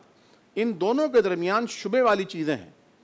जो इन शुबे वाली चीज़ों में पड़ गया तो खदशा है इस बात का कि वो हराम मुतलक का भी शिकार हो जाएगा। और हजूर करीम ने इसकी बहुत आला मिसाल दी। फरमाया कि जिस तरह हर बादशाह की एक चरागाह होती है, जहाँ उसके अपने जानवर चर, चरते हैं और आम आदमी अगर उसके करीब करीब भी अपने मवेशी और जानवर लेकर जाएगा तो ख़तरा है इस बात का कि उसके मवेशी जो हिमल्ला है, बादशाह की जो चरागा है, उसके इर्द गिर्द आएँगे। तो ख़बरदार जो अल्लाह की हराम करदा उमूर हैं, वो अल्लाह की चरागा हैं। जिस तरह किसी छत के ऊपर अगर बाउंड्री ना हो और लाइट गई हुई हो, कराची का शहर हो, और माँ अपने बच्चों को लेकर वहाँ जाकर बैठे तो अगरचे छत अभी बहुत दूर है। छत का किनारा बहुत दूर है, लेकिन चूँकि उसकी बाउंड्रीज नहीं है तो बच्चे अगर ज़रा सा भी खड़ा होकर भागने की कोशिश करते तो माँ उससे रोकती है कि खबरदार बेटा कहीं गिर ना जाना। वाह वाह। तो इसलिए उलमा और फ़ुकाहा ने यह बात तय की है कि वो जो मुकदमात हराम हैं यानी ये भी हराम नहीं है लेकिन मुकदमात हैं कि उन तक पहुंचकर इंसान हराम तक जा सकता है। कर सकते हैं टच उनको भी मना किया गया और उन राहों को भी मजदूद किया गया है। ठीक है। तो हमारे लिए हलाल इसलिए क्योंकि एक पाकिजगी का जो एहसास है वो हलाल से आता है और नापाकी का एहसास हराम से आता है। वाह वाह, क्या बात है, क्या बात है। और ये हकीकत है एज अ मुसलमान, हम कभी कभी कुछ मैं एक एक नॉर्मल गुनहगार इंसान होने की हैसियत से बात कर रहा हूँ। कभी कभी कुछ गलतियाँ ज़िंदगी में जब होती हैं तो कहीं ना कहीं दिल में ये एहसास होता है कि शायद मुझसे कुछ गलत हो रहा है। आप कभी बदतमीज़ी कर देते हैं, आप कभी कोई ऐसा काम कर लेते हैं जिसमें आपको ये एहसास होता है एहसास से नदामत होती है कि यार शायद मुझसे ये सही नहीं हुआ। लेकिन मोहम्मदी साहब ने जो बात की बड़ी लंबी तफसील है उसके पीछे। हमने भी इस पर जितनी रिसर्च की जितना हम आगे पीछे भागते रहे इस चीज़ के पीछे डायरेक्ट नुकसान है। इसमें कोई शक नहीं है। फिज़िकली जिन चीज़ों के लिए मना किया गया जितनी चीज़ों के लिए जिन चीज़ों को हराम करार दिया गया आज अ, हम बात कर रहे हैं दुनिया इस पर बात कर रही है हमारे लिए जैसे हम गोश्त हलाल करके खाते हैं। मैं एक बड़ी छोटी सी मिसाल दे रहा हूँ। आज नहीं, बल्कि ये तकरीबन इस बात को पंद्रह सोलह साल हो गए, इस पर रिसर्च हुई, लोगों के सामने आया कि नहीं भाई, ये जो मुसलमान या ज्यूज़ जैसे हम तो हलाल करते हैं, वो कोशर करते हैं तो ये जो करते हैं, जिसमें ये सारा खून इसका निकाल देते हैं तो आज कोई दस पंद्रह बीस साल पुरानी बात है, जिसमें उन्होंने कहा कि सारी बीमारियाँ तो खून में होती हैं। तो उसके बाद जब सारी बीमारियाँ निकल जाती हैं तो वो जानवर जो है, वो नुकसान नहीं देता, वो गोश्त आपको नुकसान नहीं देता। आज साइंस हमें बता रही है। सो ये इस तरह की और बहुत सारी मिसालें मौजूद हैं हमारे कराम मेरे साथ। मैं छोटे से एक ब्रेक पे जा रहा हूँ ब्रेक से वापस आके कंटिन्यू करते हैं। आज बड़े मज़े मज़े के कुछ क्वेश्चन हैं, उनकी तरफ़ चलते हैं।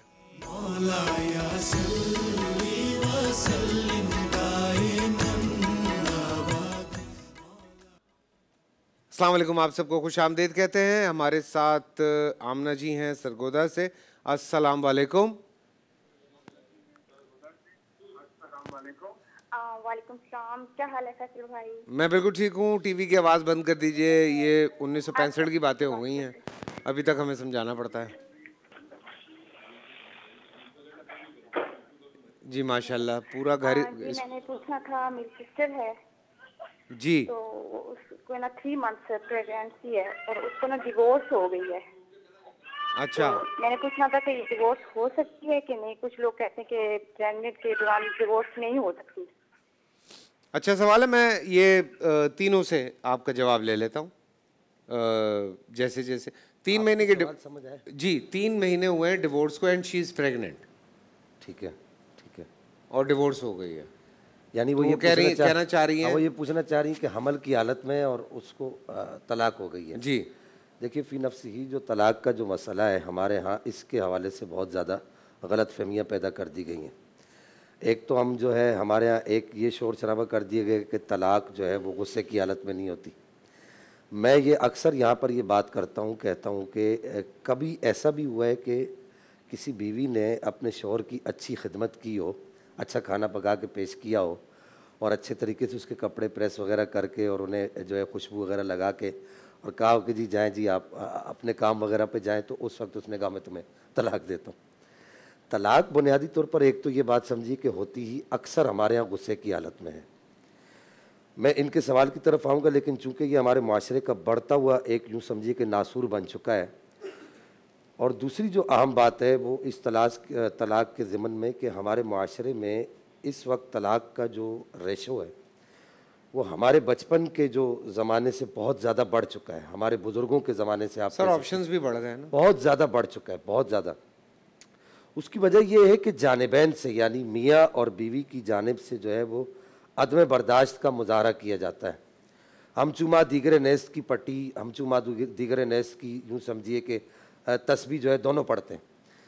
कि शोहर ये कहता है कि मेरे जैसा कोई नहीं है और बीवी की ये कहती है कि मेरे जैसा। यानी कि कंप्रोमाइज़ करने के लिए कोई भी तैयार नहीं और फिर सबसे बढ़कर जो ज़्यादा जो आग लगती है वो मोहल्ले की परवीन लगाती है।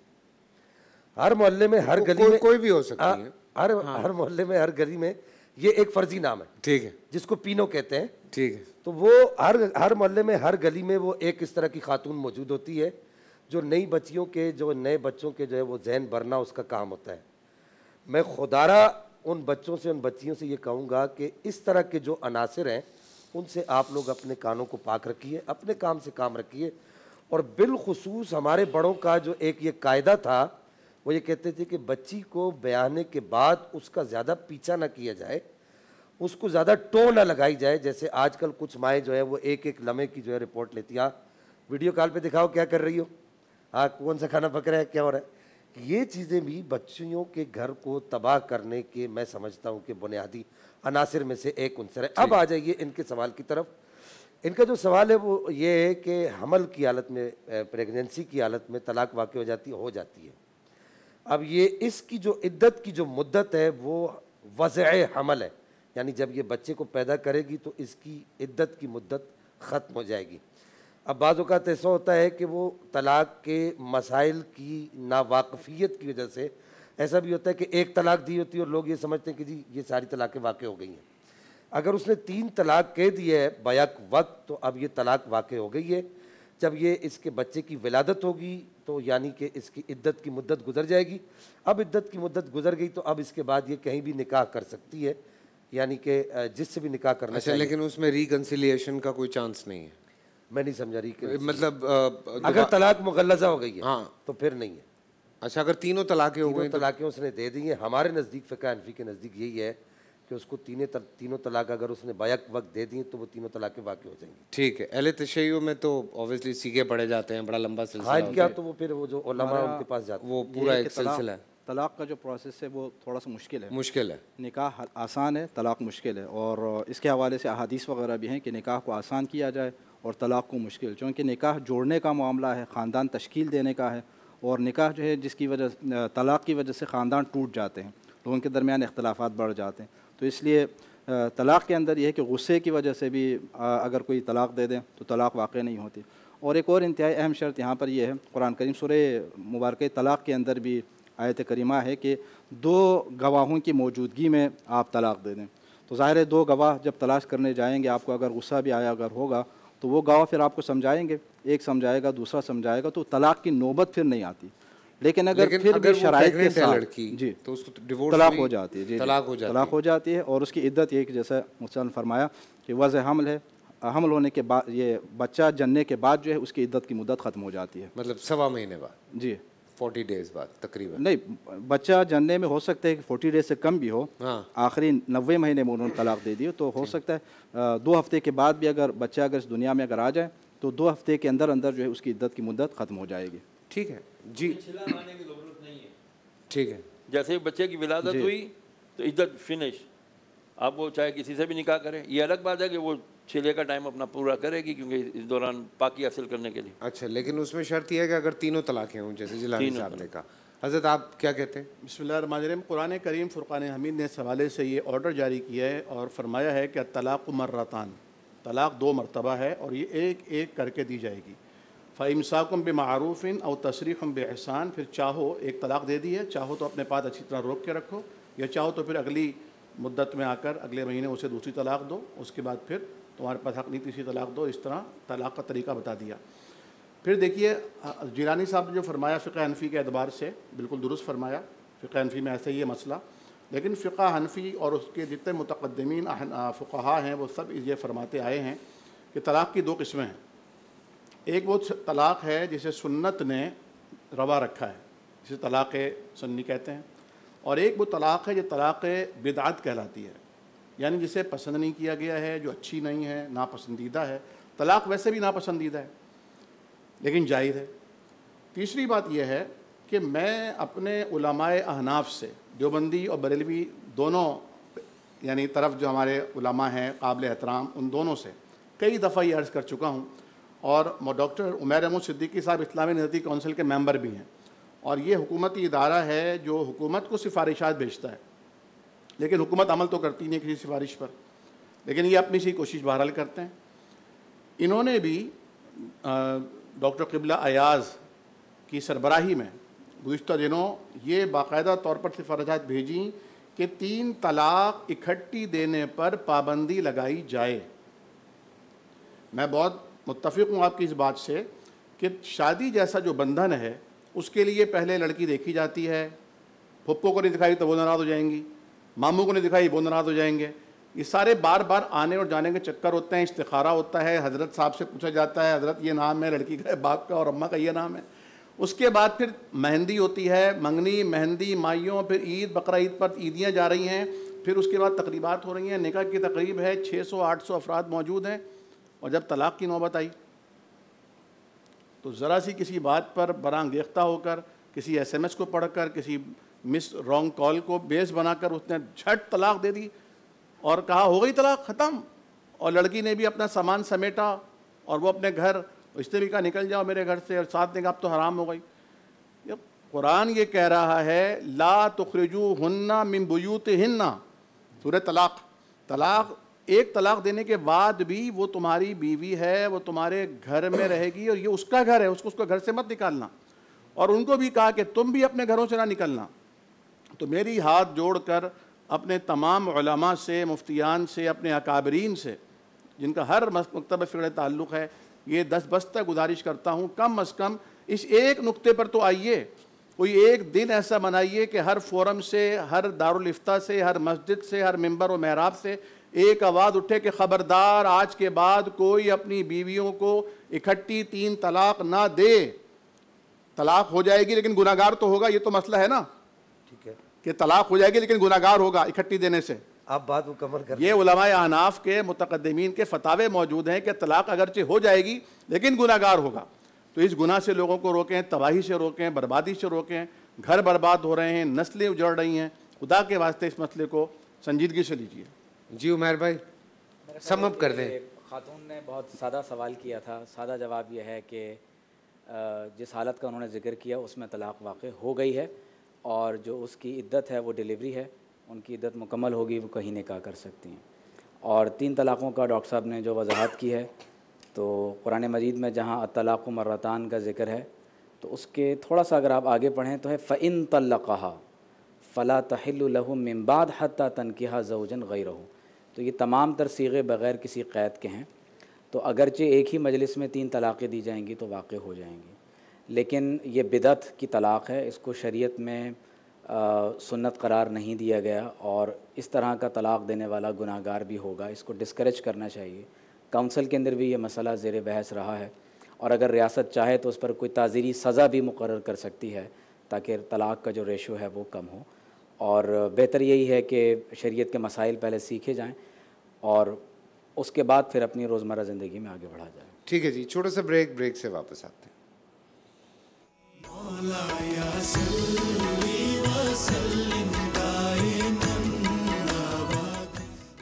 शरियार साहब से बड़ी कम गुफ्तु हो पाती है और सैयद शरियार दाल साहब हैं? यही चंगा है। नहीं नहीं अच्छी बात है आपसे हम बात करना चाहते हैं। अजत हमारी रोज़मर्रा की ज़िंदगी में बहुत सारे ऐसे काम होते हैं। जो होते तो हराम है लेकिन जाने अनजाने में हम कर जाते हैं। तो थोड़ा सा उस पर अगर आप रोशनी डालें तो यार वो मुझे एक हदीस बिस्मिल्लाहिर्रहमानिर्रहीम सल्लल्लाहु अलैहि या रसूलुल्लाह नूरुम मिन नूरिल्लाह। रसूल करीम अलैहि ने फरमाया मफहूम अर्ज़ करता हूँ हदीस का। मेरे आका अलैहि ने फरमाया मेरी उम्मत पर एक वक्त आएगा कि बंदे को पता नहीं होगा कि उसको जो मिल रहा है वो हलाल है या हराम। या यूँ आया कि वो जो पा रहा है या जो कमा रहा है कमाई में सब खाली रोज़ी रोज़गार जॉब वगैरह नहीं है, सब कुछ है। बीवी, बच्चे, रोज़गार, आमदनी एवरीथिंग तो जो कुछ उसको मिल रहा है, वो हलाल है या हराम? अल्लाह ताला ने जो वादे फरमाया उलमा ने फरमा दिया कि भाई कुलू वशरब हनी, वो खाओ, पियो, हलाल की भी चीज़ें साफ़ सुथरी चीज़ें। इसके बावजूद हम हलाल और साफ़ सुथरी चीज़ें नहीं खाना चाहते, ज़बान के टेस्ट के लिए। छोटी सी मिसाल दूँ। मेरे बच्चे ने मुझे कहा अबू यार, ये देखो क्या ऐप चल रही है, पाकिस्तान का आइन क्या इस चीज़ की इजाज़त देता है? हम अभी शरीयत की बात नहीं कर रहे आइन पाकिस्तान की बात कर रहे हैं। क्या कि जी वो एक ऐप चल रहा है जी आपने एक फलाना फ़ोन लेना है, आपके दिल की तमन्ना है, हम आपके लिए आसान करेंगे, ये लोन लेने हमसे। इंतहाई कम शरह सूद पर और आसान इकसात पर फला फला फला फला फला। यार ये शरह सूद, आसान इकसात फलाना, और हर, आजकल आपको पता आमदनी भी नहीं है। हर एक चाहता यार किसी तरह से मैं हर जायज़ नाजायज़ चीज़ हासिल कर लूँ। जब वो हर जायज़ नाजायज़ चीज़ हासिल कर लेता है तो नतीजा क्या निकलता है? पंजाब में भी हुआ, कराची में भी हुआ है। लोगों ने खुदकुशियाँ की हैं, जब वो लोन नहीं वापस कर पाते हैं। वहाँ से फ़ोन आते ए तेरे बच्चे इतने हैं, हमको पता है, ये है, वो है, फलान ढमकाना है। क्या ये हमारे, एक तो मैं उलमा मजहबी तबके से मेरी रिक्वेस्ट है हाथ जोड़कर वो यार इसके ऊपर आवाज़ उठाओ। ये गलत चीज़ हो रही है। और शऊर दो मेंबर से लोगों को को खुदा के लिए ये लोन वोन के चक्करों में मत पड़ो। ये हराम है हराम है हराम है इस हराम को बताओ। अब हम हराम को हराम कहने की जुस- जसारत ही नहीं कर रहे ना। नहीं लेकिन ये जो इस्लामिक बैंकिंग है फिर ये क्या है? यार मेरी इसके अंदर ज़्यादा मालूम नहीं है लेकिन मैं तो ये मैंने यही समझ आता है कि मैं बैंकिंग इस्लामी होवे कि गैर इस्लामी होवे समझ ही नहीं पाँव में? हथो फाड़ लोगे, पाँव में? में? हथो फाड़ लो। लो हथो फाड़ लो मैं सीधी सी बात है। अब जब ये चीज़ें हलाल और हराम का तयन अवल तो अवाम मालूम या इल्म हासिल करती नहीं है। और अगर करती भी है तो बड़ा लिमिटेड सिर्फ़ वो मॉल भी ढूंढती है जो कहे, यार हाँ ये सही है। तुम जो कर रहे हो, ये माइनिंग कर रहे हो या डिगिंग कर रहे हो, वो क्या क्रिप्टो करेंसियाँ ये, वो, उसके ऊपर भी बहुत सारी बातें हैं।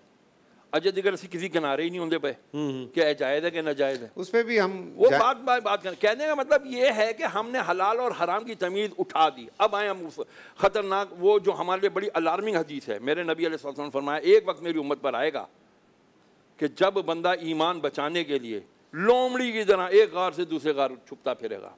अंगारा देना आसान और ईमान बचाना मुश्किल हो जाएगा और रहबानियत जायज़ हो जाएगी। साहबा ने अर्ज़ किया। रसूल आपने तो मैंने नहीं कहा रहबानियत मतलब ये जो क्रिश्चियन में नन्स और ये फादर्स करते हैं, शादियाँ नहीं करते।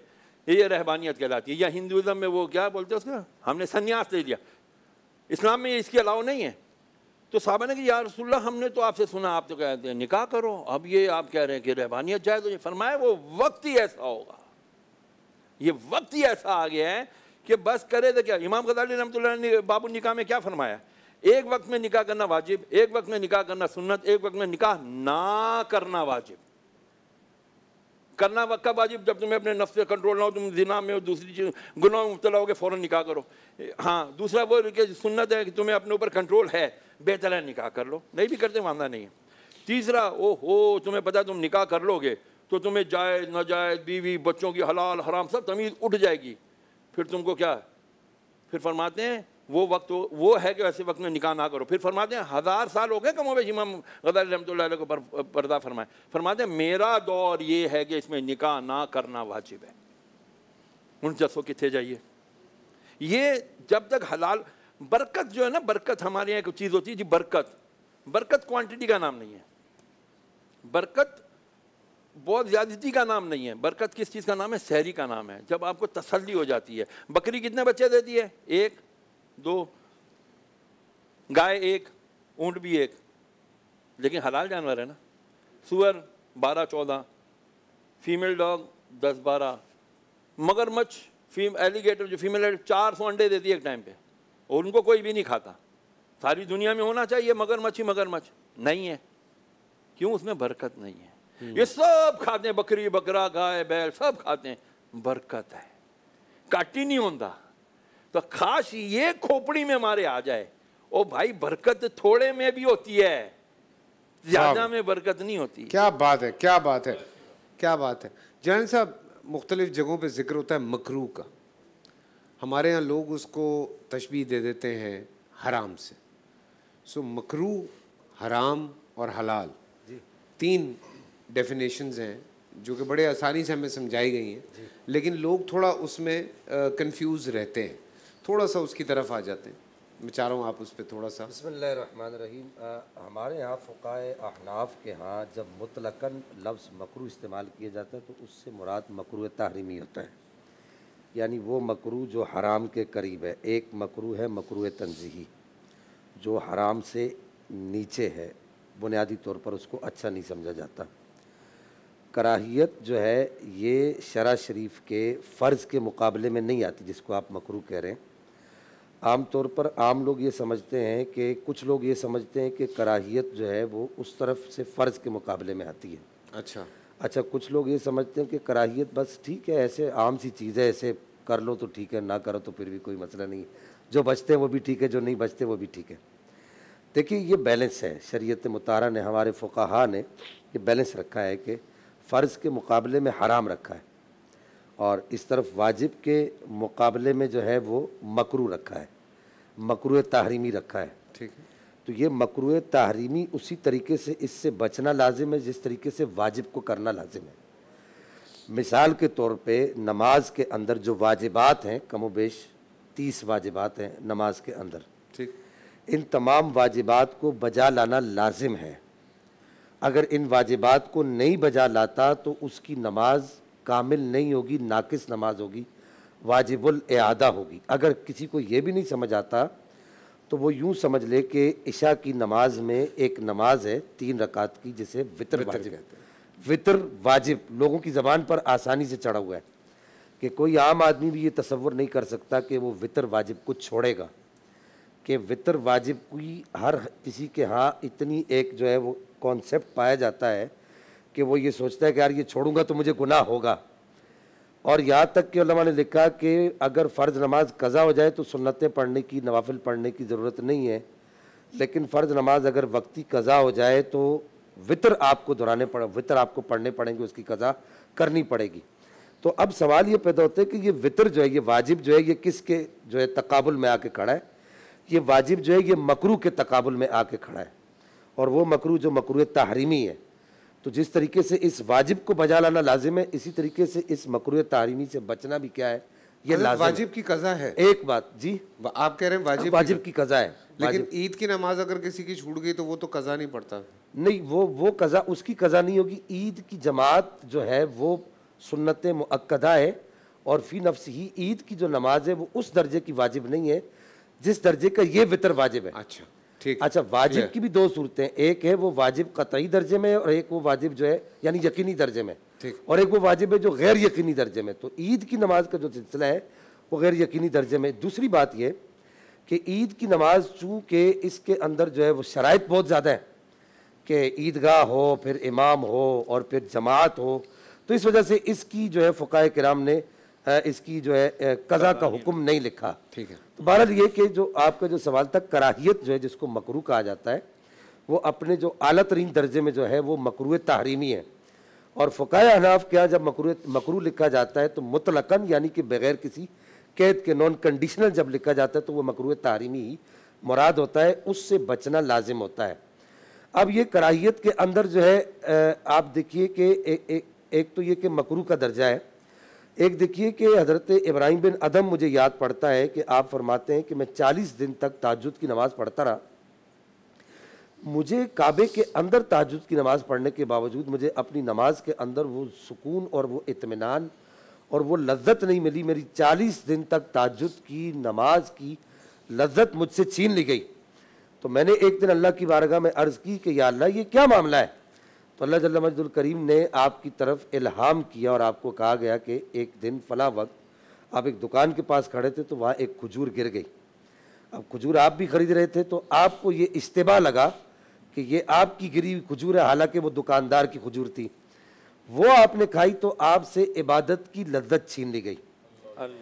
मैं फैसल भाई ये बात सुनाने का मकसद ये है कि आज हम डॉक्टर साहब आप जो बात कर रहे थे और शरियार भाई जो बात कर रहे थे मुफ्ती साहब के बिला आज हम पूरा महीना रमज़ान का नाजायज़ मुनाफाखोरी करके आराम कारियाँ करके और 19 रमज़ान मुबारक को हम मस्जिद नबवी में जो है वीडियो कॉल अपने पूरे ख़ानदान को करके बताते हैं वीडियो कॉल करके बताते हैं और फेसबुक पर उसे अपलोड करते हैं कोई जगह कोई सोशल मीडिया मीडिया का ज़रिया खाली नहीं छोड़ते हम कहते हैं कि हम मदीने के मेहमान बन गए। हम नबी पाक सल्लल्लाहु अलैहि वबारक वसल्लम के मेहमान बन गए। मैं इनसे पूछता हूँ कि यार तुम किस मुँह से मस्जिद नबवी में जाके एहतिकाफ में बैठे हो कि तुम्हारी बहन जो है वो यहाँ पर भूख के सिपारे पड़ रही है? ये एक कहावत के तौर पे बात करो, वो तस्वीर पड़ रही है भूख की। और तुम्हारा भाई जब तुम्हारे दरवाजे पे आता है तो तुम उसे ये कहते हो मादरत के साथ मादरत के साथ तुम इसे ये कहते हो कि भाई तेरी तो ज़रूरत ही नहीं पूरी होती। कब तक तुझे देते रहेंगे? मैं पूछता हूँ कि तुम अपने दिल पर हाथ रख के पूछो कि ऐसा हाजी बनना, ऐसा नमाजी बनना और ऐसा गाजी बनना, क्या तुम्हें तुम्हारा ज़मीर इजाज़त देता है कि तुम कहते हो कि जी हमने जो ईद की नमाज़ मस्जिद नबवी के अंदर पढ़ी है और हमने जो है, मैं सिर्फ़ उन लोगों को ये कहूँगा कि अदल इंसाफ ही क़यामत पर नहीं मौकूफ़। अदल इंसाफ क़यामत पर ही नहीं मौकूफ़, ज़िंदगी खुद भी गुनाहों की सज़ा देती है। नबी करीम सल्लल्लाहु अलैहि वसल्लम ने जो फरमाया आखिरी बात इसमें कर दूँ कि नबी करीम सल्लल्लाहु अलैहि वसल्लम ने जो फरमाया आसमान तो फट सकता है ज़मीन रजा रजा हो सकती है लेकिन मेरे और आपके आका हज़रत मोहम्मद रसूलुल्लाह सल्लल्लाहु वसल्लम का फरमान झूठ नहीं हो सकता वो हक है। वो चाहे क़यामत के आगे एक दिन रहता होगा फिर भी वो फरामीन अल्लाह ताला हक फरमाएगा। आज आप मैं ये बात क्यों कर रहा हूँ? आज आप डॉक्टर साहब और डॉक्टर साहब आप आज आप अस्पतालों का विज़िट कर लीजिए। आपको अस्पतालों के अंदर कैंसर टीबी एड्स इस तरह के मर्ज़ों में लोग मुबतला मिलेंगे। और गरीब आदमी वो अमीर आदमी जो जो पजीरों में जो लैंड क्रूज़र और लेग्जिस में बैठ कर आया है वो इस तरह के मर्ज में मुबतला है। अल्लाह माफ़ करे मैं अल्लाह की बारगाह से तोबा करता हूँ पाक परवरदिगार। इन अमराज से हमें बचा कर रखे। कि वो गरीब आदमी फुटपाथ पर बैठा हुआ पकोड़े खा रहा है फुटपाथ पर बैठा हुआ गंदे हाथों से जो है वो वो फल खा रहा है उसको बीमारी नहीं लग रही। लेकिन ये जो आदमी जो जिसका पूरा खानदान जो है वो पजीरों के अंदर बैठ कर आ रहा है उसको ये बीमारी लग रही क्यों? कि नबी करीम सल्लल्लाहु अलैहि वसल्लम ने इरशाद फरमाया सुनने मैंने माजा की हदीस है कि आपने फरमाया कि नाजायज़ मुनाफा खौर को अल्लाह ताला जुजाम के मर्ज में मुबतला फरमा देगा। मर्ज की नोयत तब्दील हो जाती है। नोयत तब तब्दील हो गई। ये जितने बड़े बड़े अमराज है गरीबों को नहीं लग रहे। ये बड़े बड़े अमराज लगते होंगे मैं उसका भी इनकार नहीं कर रहा। लेकिन ये इन लोगों को क्यों लग रहे हैं? ये इस वजह से लग रहे हैं कि मैं सिर्फ़ एक जुमला कहूँगा कि वो किसी ने बड़ी प्यारी बात कही थी कि काबा खुद इस चक्कर में है कि ये लोग किस चक्कर में हैं। अल्लाह अकबर। छोटा सा ब्रेक ब्रेक से वापस आते हैं। अल्लाह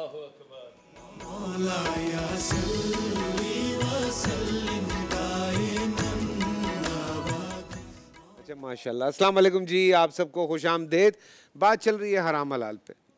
बींग बींग ह्यूमन में कहता हूँ। मुसलमान तो चलें छोड़ें। आप खुद बैठ के एनालाइज जब करते हैं चीज़ों को तो एक डॉक्टर साहब ने बड़ी अच्छी बात की थी कि एक हराम वो है जो हमारी सेहत पे असरअंदाज होता है। उसमें खाने, पीने की बहुत सारी चीज़ें हैं। जब आप उनको देखते हैं, पढ़ते हैं, आपको समझ आना शुरू हो जाता है कि अच्छा आज रिसर्च के बाद दुनिया बता रही है कि ये सही नहीं है आपकी बॉडी के लिए, ये सही नहीं है, ये सही नहीं है। Okay fine there are certain things जो कि हम नहीं करते अपनी ज़िंदगी में। एक मुसलमान होने की नाते जब कुछ चीज़ें मना की गई हैं तो उसका रीज़न जब हम निकालते हैं तो वो आपको अंदर से जो आपका दिल है, जो आपकी सोल है, वो उसको डिस्टर्ब करता है। फिर रिश्तों पे बात आती है फिर बिहेवियर पे बात आती है। फिर और भी कुछ चीज़ें आ जाती हैं जिसमें सूद भी आ जाता है और भी चीज़ें आ जाती हैं। रीज़न ये है आ, हमारे दाऊद साहब ने भी उस पर ज़िक्र किया आ, सूद के हवाले से कि सूद पे जब आप चीज़ लेते हैं तो आप सारी ज़िंदगी कर्ज़े उतारने में लगे रहते हैं और जब आप नहीं उतार पाते तो एंड कहाँ होता है? लोग अपनी जान दे देते हैं। तो कहीं ना कहीं जब आप पूरा साइकिल देखते हैं तो आपको समझ आता है कि अल्लाह ताला ने अच्छा ये इस वजह से थोड़ा सा यहाँ से अगर आप इस्तेमाल करें अपने दिमाग को ऑटोमेटिकली चीज़ें सामने आ जाती हैं। अभी रिसेंट टाइम में हज़रत एक जो बहुत ज़्यादा ज़ेर बहस है उसमें अभी तक सिर्फ़ पाकिस्तान रह गया जो। इस चीज़ को नहीं मान रहा। अदरवाइज़ मैं अगर सऊदीया की बात करूँ दुबई की बात करूँ या और बहुत सारे मुस्लिम ममालिक हैं जहाँ पे क्रिप्टो करेंसी को उन्होंने कहा कि ओके फ़ाइन आप ये कर सकते हैं। वहाँ मान लिया गया। सऊदीया में तो चलें समझ आता है। आ, लेकिन पाकिस्तान में अभी तक क्यों नहीं माना जा रहा क्रिप्टो करेंसी को कि वो हलाल है? आ, क्यों हमारे बहुत सारे उल्मा हैं जो इस चीज़ पे हैं कि नहीं वो हराम है? सो क्या रीज़न है रहमान रहीम। पहले एक इब्तदाई बात ये कि हलाल व हराम का तस्वुर सिर्फ़ खाने और पीने की अशिया में नहीं है। नहीं हाँ। कौल अमल और फ़िक्र इन तीनों में कोई फ़िक्र, कोई अमल, कोई कौल हलाल भी हो सकता है और हराम भी हो सकता है। हमारे कॉन्स्टिट्यूशन का आर्टिकल 38 एफ़ हमें ये बताता है कि पाकिस्तान में सूद का लेन देन हराम है और नाजायज़ है। और हुकूमत की ज़िम्मेदारी है कि वो ग्रेजुअली पाकिस्तान के इकनॉमिक सिस्टम को सूद और रिबा से पाक करेगी। लेकिन हाल ही में फ़ेडरल शरीयत कोर्ट का फ़ैसला भी है और वो तमाम तर मतलब जिस तरह लोग उसके ख़िलाफ़ फिर पटिशन में चले गए हैं, ये हमारे लिए नहायत ही लायक अफसोस बात है कि वो मुल्क जो इस्लाम के नाम पर बना है तो वहाँ सूद और रिबा जैसी एक लानत के हराम होने के ख़िलाफ़ नाउज़ुबिल्ला जो है वो पटिशन की जाए। जहाँ तक ताल्लुक़ है क्रिप्टो डिजिटल डिसेंट्रलाइज्ड करेंसी का तो मैं ये समझता हूँ कि पहले हम इस बात को समझ लें कि दुनिया में एक ज़माने तक हम कम्युनिज़म की तरफ़ माइल रहे जब कम्युनिज़म का सोशलिज़म का फॉल हुआ तो फिर हम कैपिटलिज़म के ब्लॉक में चले गए। और अब कैपिटलिज़म के फॉल और डाउनफॉल की वजह से हमारे पास ये मौका है कि हम इस्लाम के उस इकनॉमिक सिस्टम की तरफ़ रुजू करें, जो दर हकीकत एक फ़ियाट करेंसी पर बेस नहीं करता। फेक करेंसी पर बेस नहीं करता, बल्कि वो ऐसा मॉनेटरी सिस्टम है जिसमें करेंसी के अंदर उसकी वैल्यू इंट्रेंसिक होती है। आप देखिए कि नबी करीम सल्लल्लाहु अलैहि वसल्लम के अहद मुबारक में जो करेंसी या मीडियम ऑफ़ एक्सचेंज था, वो दो तरह से होता था। या तो बाटर सिस्टम होता था कि लोग जैसे चावल के बदले गंदम किसी ने एक्सचेंज कर ली। या दूसरा तरीका ये था कि सिल्वर और गोल्ड कॉइन्स के एवज़ या फुलस के एवज़ जो है, या फिलिस जिसको आजकल कहा जाता है तो फुलस के एवज़ जो है, वो चीज़ों को एक्सचेंज किया जाता था। नबी करीम सल्लल्लाहु अलैहि वसल्लम के अहद मुबारक में वन सिल्वर कॉइन उसकी जो ग्राम के अंदर अगर आप देखें तो 2.975 ग्राम का एक सिल्वर कॉइन होता था। और अगर आप वन गोल्ड दिनार की बात करेंगे तो वो 4.25 ग्राम का एक गोल्ड दिनार हुआ करता था। अब सिलसिला ये हुआ कि जैसे जैसे दुनिया के अंदर तरक्याँ होती रहीं, माशरतें तब्दील होती रहीं, अब सिलसिला ये बन गया कि सिल्वर और गोल्ड कॉइन की जगह मुख्तलिफ़ रसीदों ने ले ली और इन रसीदों को बाद में क्योंकि वक्त नहीं मैं इसको मुख्तसर कर रहा हूँ कि बाद में वो रसीदें बाकायदा पेपर करेंसी की सूरत इख्तियार कर गई। पहले होता यह था कि पेपर करेंसी के पीछे डॉलर या स्टर्लिंग पाउंड या आपने जिसको भी करेंसी को अपना स्टैंडर्ड बनाया है वो होती थी। और उसके पीछे फिर आपके पास गोल्ड के या सिल्वर के रिज़र्व होते थे। अब सिलसिला ये है कि हमारी पेपर करेंसी के पीछे ना उतना डॉलर है और ना डॉलर के पीछे रिज़र्व मौजूद हैं। आप गौर कीजिए कि मैं अगर पाँच हज़ार रुपये के नोट से आज एक हॉर्स ख़रीद सकता हूँ, मिसाल के तौर पर। तो दस साल के बाद उस फाइव थाउज़ेंड के नोट से एक मुर्गी ख़रीदी जा रही है, एक बकरी ख़रीदी जा रही है।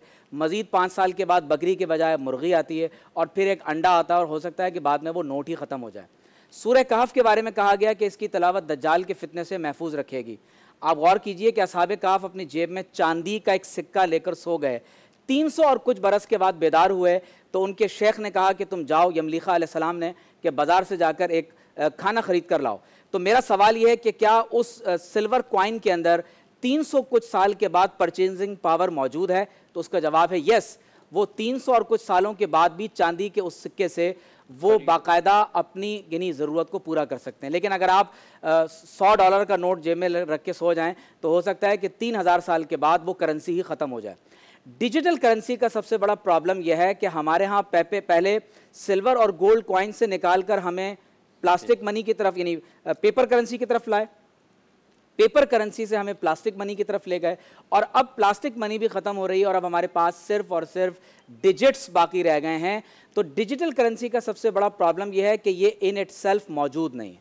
इसकी फ़िज़िकल कोई एग्जिस्टेंस फॉर्म नहीं है। फॉर्म नहीं ठीक नंबर टू ये यानी वर्चुअलिटी है। दूसरी इसके अंदर बुनियादी प्रॉब्लम वो है जो पेपर करेंसी के अंदर भी है कि उसकी वैल्यू उसके अंदर इंट्रेंसिक नहीं है। मिसाल के तौर पर यूँ समझें कि जिस पर बड़ा बड़ा बी लिखा हुआ है बिटकॉइन का बी अगर वो सोने का सिक्का आपके और मेरे हाथ में हो तो क्या उस सोने के सिक्के को हम फिफ्टी थाउज़ेंड डॉलर्स में खरीदने के लिए तैयार होंगे? कभी नहीं क्योंकि आप ये कहेंगे कि इसमें फिफ्टी थाउज़ेंड डॉलर्स का गोल्ड मौजूद नहीं है। हमारे नबी सल्लल्लाहु अलैहि वसल्लम का फरमान है कि लयातियन्नासी ज़मान लोगों पर एक ऐसा ज़माना आएगा लाफ़ी इल्ला दिनार व दिरहम, उसमें सोने और चांदी के सिक्के के सिवा कोई चीज़ काम नहीं आएगी। ऐसी करेंसी जो इलेक्ट्रिसिटी बेस्ड है जो इंटरनेट बेस्ड हम तो पहले ही मुआशी गुलाम बने हुए हैं। अगर एक बटन बंद करने पर हमारा इंटरनेट बंद हो गया, बिजली ख़त्म हो गई तो पूरे मुल्क का मुआशी निज़ाम, यानी within a wink of an eye ये पूरा मुआशी निज़ाम कोलेप्स हो जाएगा।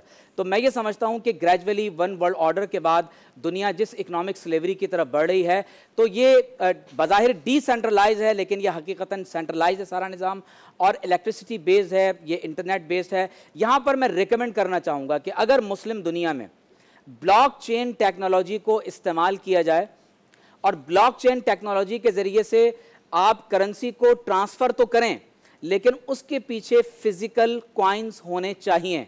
तो हम दरअसल हकीकता उस निज़ाम मीशत की तरफ़ बढ़ सकेंगे कि जिसमें उसकी वैल्यू करेंसी की वो इंट्रेंसिक होती है। आप देखिए कि अभी इस्लामिक बैंकिंग की बात हुई, मैं ये बात बहुत वाज तौर पर कह रहा हूँ कि बैंकिंग सिस्टम कभी भी इस्लामिक नहीं हो सकता। अगरचे हमारे उलमा का एक बड़ा तबका ये कहता है कि इस्लामिक बैंकिंग सिस्टम भी एक पैरल सिस्टम है और वो इसको जायज़ समझते हैं लेकिन ये आइडियल इस्लामिक इकोनॉमिक सिस्टम नहीं है। उसकी वजह यह है कि जिस तरह conventional banking system fractional reserve banking पर डिपेंड करता है इसी तरह इस्लामिक बैंकिंग भी फ्रैक्शनल रिज़र्व बैंकिंग पर डिपेंड डिपेंड करता है और ये सब के सब सेंट्रल बैंक के साथ मुंसलिक होते हैं।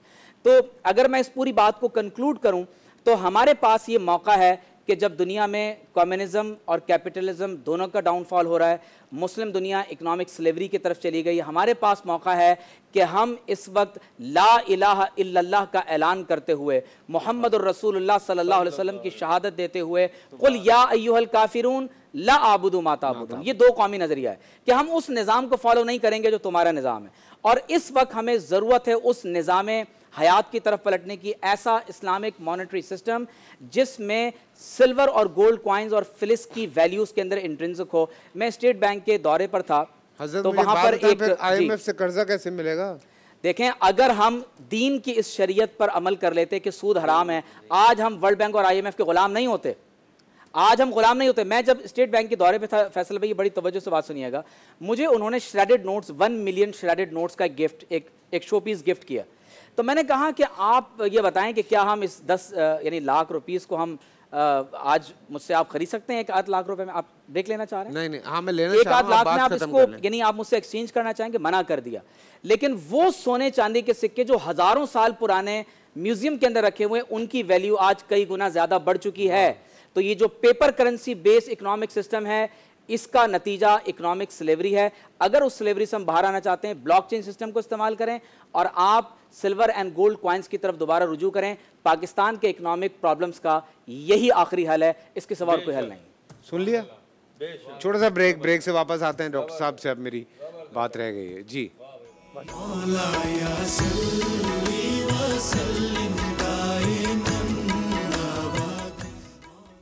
जी हाँ अस्सलाम वालेकुम। तकरीबन हम कोशिश ये करते हैं कि जब गुफ्तु हो रही हो तो हर शोबे से हम तकरीबन हर बात कर लें। हज़रत आपसे मेरी गुफ्तु नहीं हो पाई इस हवाले से। हराम हलाल के ऊपर बहुत सारी चीज़ें। औलाद पे क्या चीज़ें मुरतब हो जाती हैं? औलाद पे क्या चीज़ें असर कर जाती हैं? जो पेरेंट्स जाने अनजाने में भी बहुत मतलब अगर वो अपनी तरफ़ से नहीं कर रहा वो कह रहा है मैं हलाल कमा रहा हूँ। लेकिन वो अनजाने में कमा रहा है हराम। अनजाने में। तो क्या आपको लगता है औलाद पे वो चीज़ें असरअंदाज होती हैं? बसमीम यकीनन औलाद के ऊपर उसका असर होगा। कुरान करीम के अंदर रसूल अक्रम वसल्लम के हवाले से अल्लाह रब्बुल ने फरमाया कि यस अलून का मादा उहलहम कुल उहलकुमतयबात कि लोग आपसे सवाल करते हैं कि कौन सी चीज़ उनके लिए हलाल है। तो अल्लाह रब्बुल ने आपसे फरमाया कि उनसे कहें कि जो पाकिज़ा चीज़ें, वो आपके लिए हलाल हैं। ठीक है, या यूहन्नास ये लोगों, तुम वो चीज़ें खा लो कि जो तुम्हारे लिए ज़मीन के अंदर हलाल हैं और पाकिज़ा हैं। तो हलाल और पाक चीज़ें खाने का और इन चीज़ों को अपनाने का अल्लाह रब्ज़त की जानब से हुक्म है। अब माशरे के अंदर हमारे यहाँ जो बहुत सारे मसाइल पैदा हो जाते हैं, उनमें से एक औलाद की तरबियत के हवाले से आपने एक इंतहाई अहम पॉइंट उठाया है। कभी कभी हम नाफहमी में या नादानी में या न समझते हुए ये ख्याल करते हैं कि अगर हम हलाल और हराम का ख्याल रखे, बग़ैर अगर पैसे कमाएँगे और अपनी दौलत में अगर इजाफ़ा करेंगे तो उससे औलाद का भला होगा, औलाद का मुस्तबिल जो है वो ताबनाक हो जाएगा। देखें फ़िकी लिहाज से अगर आप चीज़ देख लें ना, एक है हुक्म फ़िकी हुक्म फ़िकी और दूसरा हुक्म वज़ी हुक्म फ़िकी का मतलब है कि अगर आपको किसी चीज़ के हराम होने का इल्म ना हो, जैसे ये पानी आपके सामने रखा है, आपको मालूम ना हो कि ये पानी है या नहीं है। आप अगर पी लेते हैं तो आपके लिए हलाल है। क्यों? क्योंकि आपको मालूम नहीं है कि यह हराम है। अनजान जी। लेकिन उसका वज़ी असर आपके ऊपर होगा। अगर खुदा न खास्ता वो पानी उस पानी के अंदर जहर मिलाया गया था तो उसका असर न जानने की वजह से ऐसा नहीं कि आपके ऊपर नहीं होगा। होगा।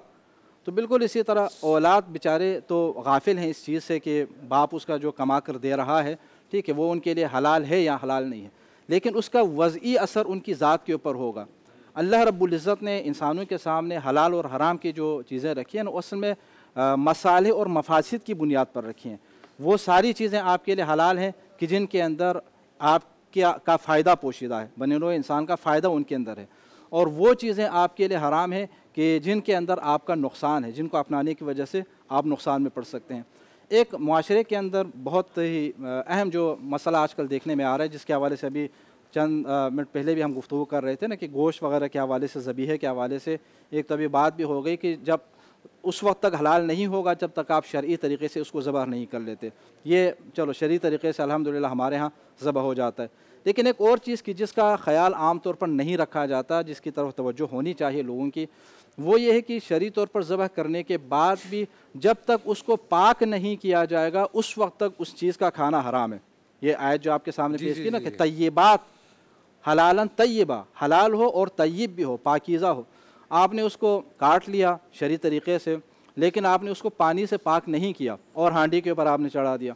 अब उस खून ये तमाम मकाती फ़िक्र का इसके ऊपर इतफाक़ी के हराम है ठीक है? उसका खाना पीना हराम है। खून के आसार उसके ऊपर लगे हुए हैं उसको पानी से आपने पाक नहीं किया। अब उसको आप खा रहे हैं पी रहे जितने अफराद उसको खाएँगे वो हराम में मुबतला हो जाएँगे। यानी जो खाने वाला है वो ख़ुद और बाकी लोग अगर ना जानने की वजह से अगर खा रहे हैं तो उनके ऊपर फ़िकी असर तो नहीं होगा।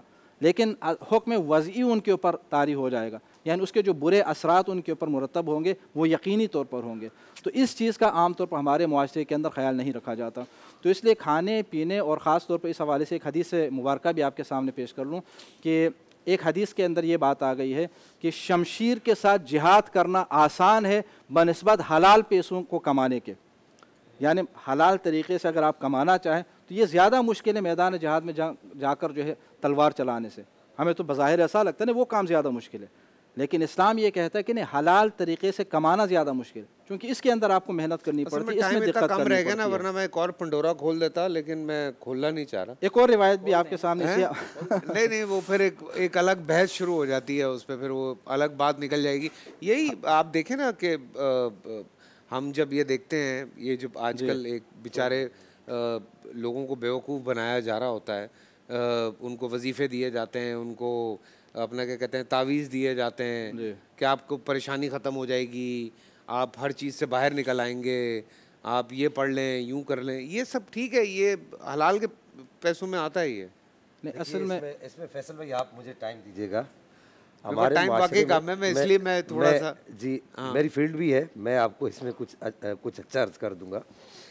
देखिए फैसल भाई, हमारे यहाँ ये है कि जो आदमी तमाम मैदानों में नाकाम हो जाता है, वो इस मैदान में कामयाब हो जाता है। जो अच्छा डॉक्टर नहीं बन सकता अच्छा इंजीनियर नहीं बन सकता, आप देखिए कि कितने ऐसे लोग हैं कि जो, जिन्होंने डिग्री ली हुई इंजीनियर की, डॉक्टर की, और वो बैठे हुए हैं जो है, वो लोगों को तावीज़ दे रहे हैं, दम दुरुद पढ़ रहे हैं, और वो जो है, लोगों के साथ जो है, वो, उनका यूँ समझिए कि एक सिलसिला चल रहा है। मेरे नज़दीक इस तरीके से लोगों से पैसे हटना मेरे नज़दीक, ये हराम है। इसको कोई भी जायज़ नहीं कहेगा। दूसरी बात ये देखिए कि मुझे अफसोस होता है कि आप कितने बड़े बड़े फैसले, सिर्फ़ एक इस तस्वीर के इस्तारे के ऊपर आप कितने बड़े बड़े फैसले जो है लोगों के रिजेक्ट कर देते हैं कि एक बच्ची है, वो घर में बैठी है, उसके बाल सफ़ेद हो गए और उसका रिश्ता आ गया। ऐसे ऐसे केसेस हमारे पास आए कि उसका रिश्ता आ गया और वो कह रहे हैं कि जी अच्छा रिश्ता लग गया कि जी, पीर साहब आप आप वो इस्तारा कर दें। पीर साहब ने जो जो तस्वीर ऐसे थोड़ी देर ऐसे हिलाई बोला जी ये ठीक नहीं है नहीं करना। और हम इतने ज़यीफ़ुल एतकाद लोग हैं कि हम कहते ठीक है जी पीर साहब ने कह दिया ज़मीन इधर से उधर हो जाए दुनिया हिलती है तो हिल जाए। रूहानी कुव्वत होती है हाँ अब वो हमने उसको नहीं मान देखे फ़ोन पे भी तो दम फ़ोन पे भी तो दम करते हैं। बस यहाँ पर मैं मैं ए, इस तरफ़ आता हूँ मैं सिर्फ़ यहाँ पर एक बात कहना चाहूँगा चूँकि इस तरफ़ हमारे लोग इस चीज़ में बहुत ज़्यादा मुबतला है मैं चाहता हूँ कि ये बात क्लियर हो जाए कि देखिए इस्तिखारे से ज़्यादा जो ताकत है वो है मशवरे की। जी। इस्तिखारा कतई नहीं है मशवरा कतई है। कुरान पाक में इसको कतई तौर पर फरमा वशाविर हम फिल अम्र। और खुद अल्लाह जल्ला मजदुल करीम ने फरिश्तों से मशवरा फरमाया नबी पाक हर मुहिम पर जाने से पहले साहब कराम से मशवरा किया करते थे।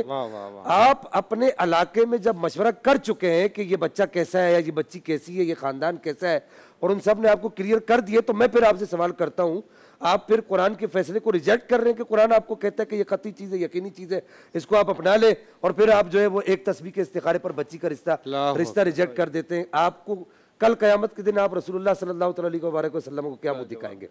बाकी रही ये बात कि आप जो कह रहे हैं कि फ़ोन पर दम किया जाता है। फ़ोन पर दम करने का मैं मुखालिफ नहीं हूँ। ये दम के अंदर अल्लाह ताला ने ये तासीर रखी है कि वो हो जाता है फ़ोन पर दम हो जाए लेकिन उसको गलत ज़राए के लिए इस्तेमाल करना ये किसी भी तरीके से जायज़ नहीं सही। जी हज़रत मैं माजर। इस्तिखारे के हवाले से भी अ, मैं इस बात को अ, आगे बढ़ाऊँगा। वो ये कि बहुत ही खूबसूरत एक बात की है। इस्तारा अगर करना चाहें भी तो सबसे पहले जो है आप मशवरा करें। जिस फ़ील्ड के अंदर भी आप काम करना चाहते हैं जो भी काम करना चाहते हैं उस फ़ील्ड के एक्सपर्ट से पहले आप काम मशवरा लेंगे उनकी राय जानेंगे और अगर आ, किसी नतीजे तक न पहुँचे तो उस सूरत में फिर आप इस्तिखारे की तरफ़ जाएँगे। और हमारे खुद माशरे ही के करना अंदर- होता है ना? जी। खुद करें इस्तिखारा। इस्तिखारा खुद करना उस हिसाब हाँ, से। खुद भी दो रकत नफिल बढ़ गए जी जी खुद भी कर सकते हैं बिल्कुल। ज़रूरी नहीं कि आप किसी पीर साहब के पास चले जाएँ किसी मौलाना साहब के पास आप चले जाएँ। और किसी नतीजे तक न पहुँचे तो फिर दस की बात तक होता है लेकिन मशवरे की सूरत में आप एक नतीजे तक पहुँच गए तो उसी के ऊपर अमल करना ज़रूरी है। दूर होनी चाहिए कि किसी की तावीज़ से किसी के रिस्क पर कोई बंदिश नहीं होती। नहीं होती। रजाक अल्लाह ताला तो है। हर डराम है हाँ, जिन पे तावीज हो जाते हैं। लिमा मना। जिसे अल्लाह देने पर आए कोई बंद नहीं कर सकता और जिसे वो बंद करे कोई खोल नहीं सकता। और पूरी दुनिया में आप भी के मैं भी अरब ममालिक में गए वहाँ पर ऐसा कोई तस्वर नहीं पाया जाता। बाबर को भाई सारे जिन जिन्नात आशिक हो जाते हैं नंगियाँ पटंगियाँ यूरोप की छोड़ के। बताओ। जिन्नात को पता है ना कहाँ जाना है कहाँ नहीं जाना। उनको पता है थे कोई फ़ायदा नहीं ये तो सानू ही पै जाएंगियाँ बहरहाल वो एक हदीस मुबारक का मफहूम मुख्तसर अर्ज़ कर दूँ कि जिसने मशवरा किया वो कभी नादिम नहीं हुआ। वाह वाह वाह। हलाल और हराम के हवाले से एक रिवायत में पेश करना चाह रहा था। एक रिवायत है रसूल अकरम सल्लल्लाहु अलैहि वसल्लम की किताबों के अंदर मिलती है कि हलाल कमाना दो हज़ार रकात नमाज़ें पढ़ने से ज़्यादा बेहतर है। अल्लाह अकबर। दो हज़ार रकात नमाज़ें पढ़ें तो ज़ाहिर है इबादत है अल्लाह रब्बुल इज़्ज़त की बंदगी हो रही है। लेकिन मुस्तहब नमाज़ों की बात हो रही है। मुस्तहब नमाज़ आप पढ़ना चाहते हैं उससे बेहतर यह है कि इंसान दो रोटी कमाने दो रोटी खाने के लिए हलाल पैसे कमा लें और उससे जो है अपने हज़रत मैं देखें इस पर एक बात कहता हूँ मैंने लोगों को देखा है जिन्होंने हलाल जी। नीयत के साथ हलाल कमाया है मेहनत की है। अल्लाह ताला ने उनको बहुत बरकत दी है और बहुत मिसालें हमारे सामने। चीज़ ऐड कर दूँ कि एक बुज़ुर्ग से किसी ने एक बुज़ुर्ग ने लोगों से पूछा कि ये बताओ कि खाने का सबसे पहला अदब क्या है? तो किसी ने कहा हाथ धोना। बिस्मिल्लाह पढ़ना इस तरह बैठना। तो आपने फरमाया कि खाने का सबसे पहला अदब यह है कि जब खाने की तरफ़ हाथ बढ़ाओ तो ये देखो कि हलाल है या हराम है। और गिरफ्त सिर्फ़ इस बात पर नहीं होगी कि हलाल कमाया था या हराम। हलाल कमाया कहाँ से कमाया और कहाँ खर्च किया। बाज़ अवक़ात हम कमा हलाल रहे होते हैं लेकिन नाउज़ुबिल्ला हराम कामों में खर्च कर रहे होते हैं। तो इसलिए हलाल और हराम का फ़र्क मलहूज़ इस तरह रखें कि इसका बहुत गहरा असर इंसान की नफ्सियात पर रूहानियत पर और बिलखसूस यूँ समझ लें कि अल्लाह ने ख़ुद फरमा दिया या अയ്युहर रसुल कुलू मिन तय्यबाती वामलु सालिहा। ए अल्लाह के रसूलों पाकिज़ा गज़ा खाओ और नेक आमाल करो। तो जैसा खुराक और खाना हम खाएँगे उसी तरह के आमाल का सुदूर हमारे वजूद से होगा वही बात हम ज़बान से कहेंगे और उसी के हमारे अमल से इजहार होगा। जी, बिल्कुल, और मैं शुक्रिया अदा करना चाहूँगा। हमारे जितने स्पॉन्सर्स हैं, उन सब का, खालिद स्वीट्स की तरफ़ से हमारे पास ज़बरदस्त इफ्तारी आती है। आपका बहुत बहुत शुक्रिया।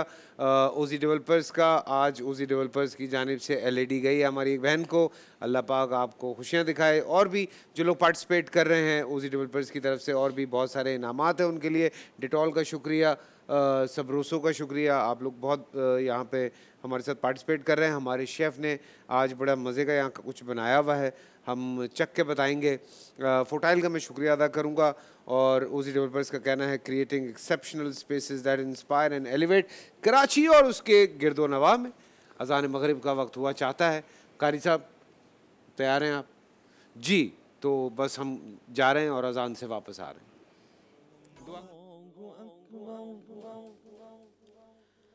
अल्लाह।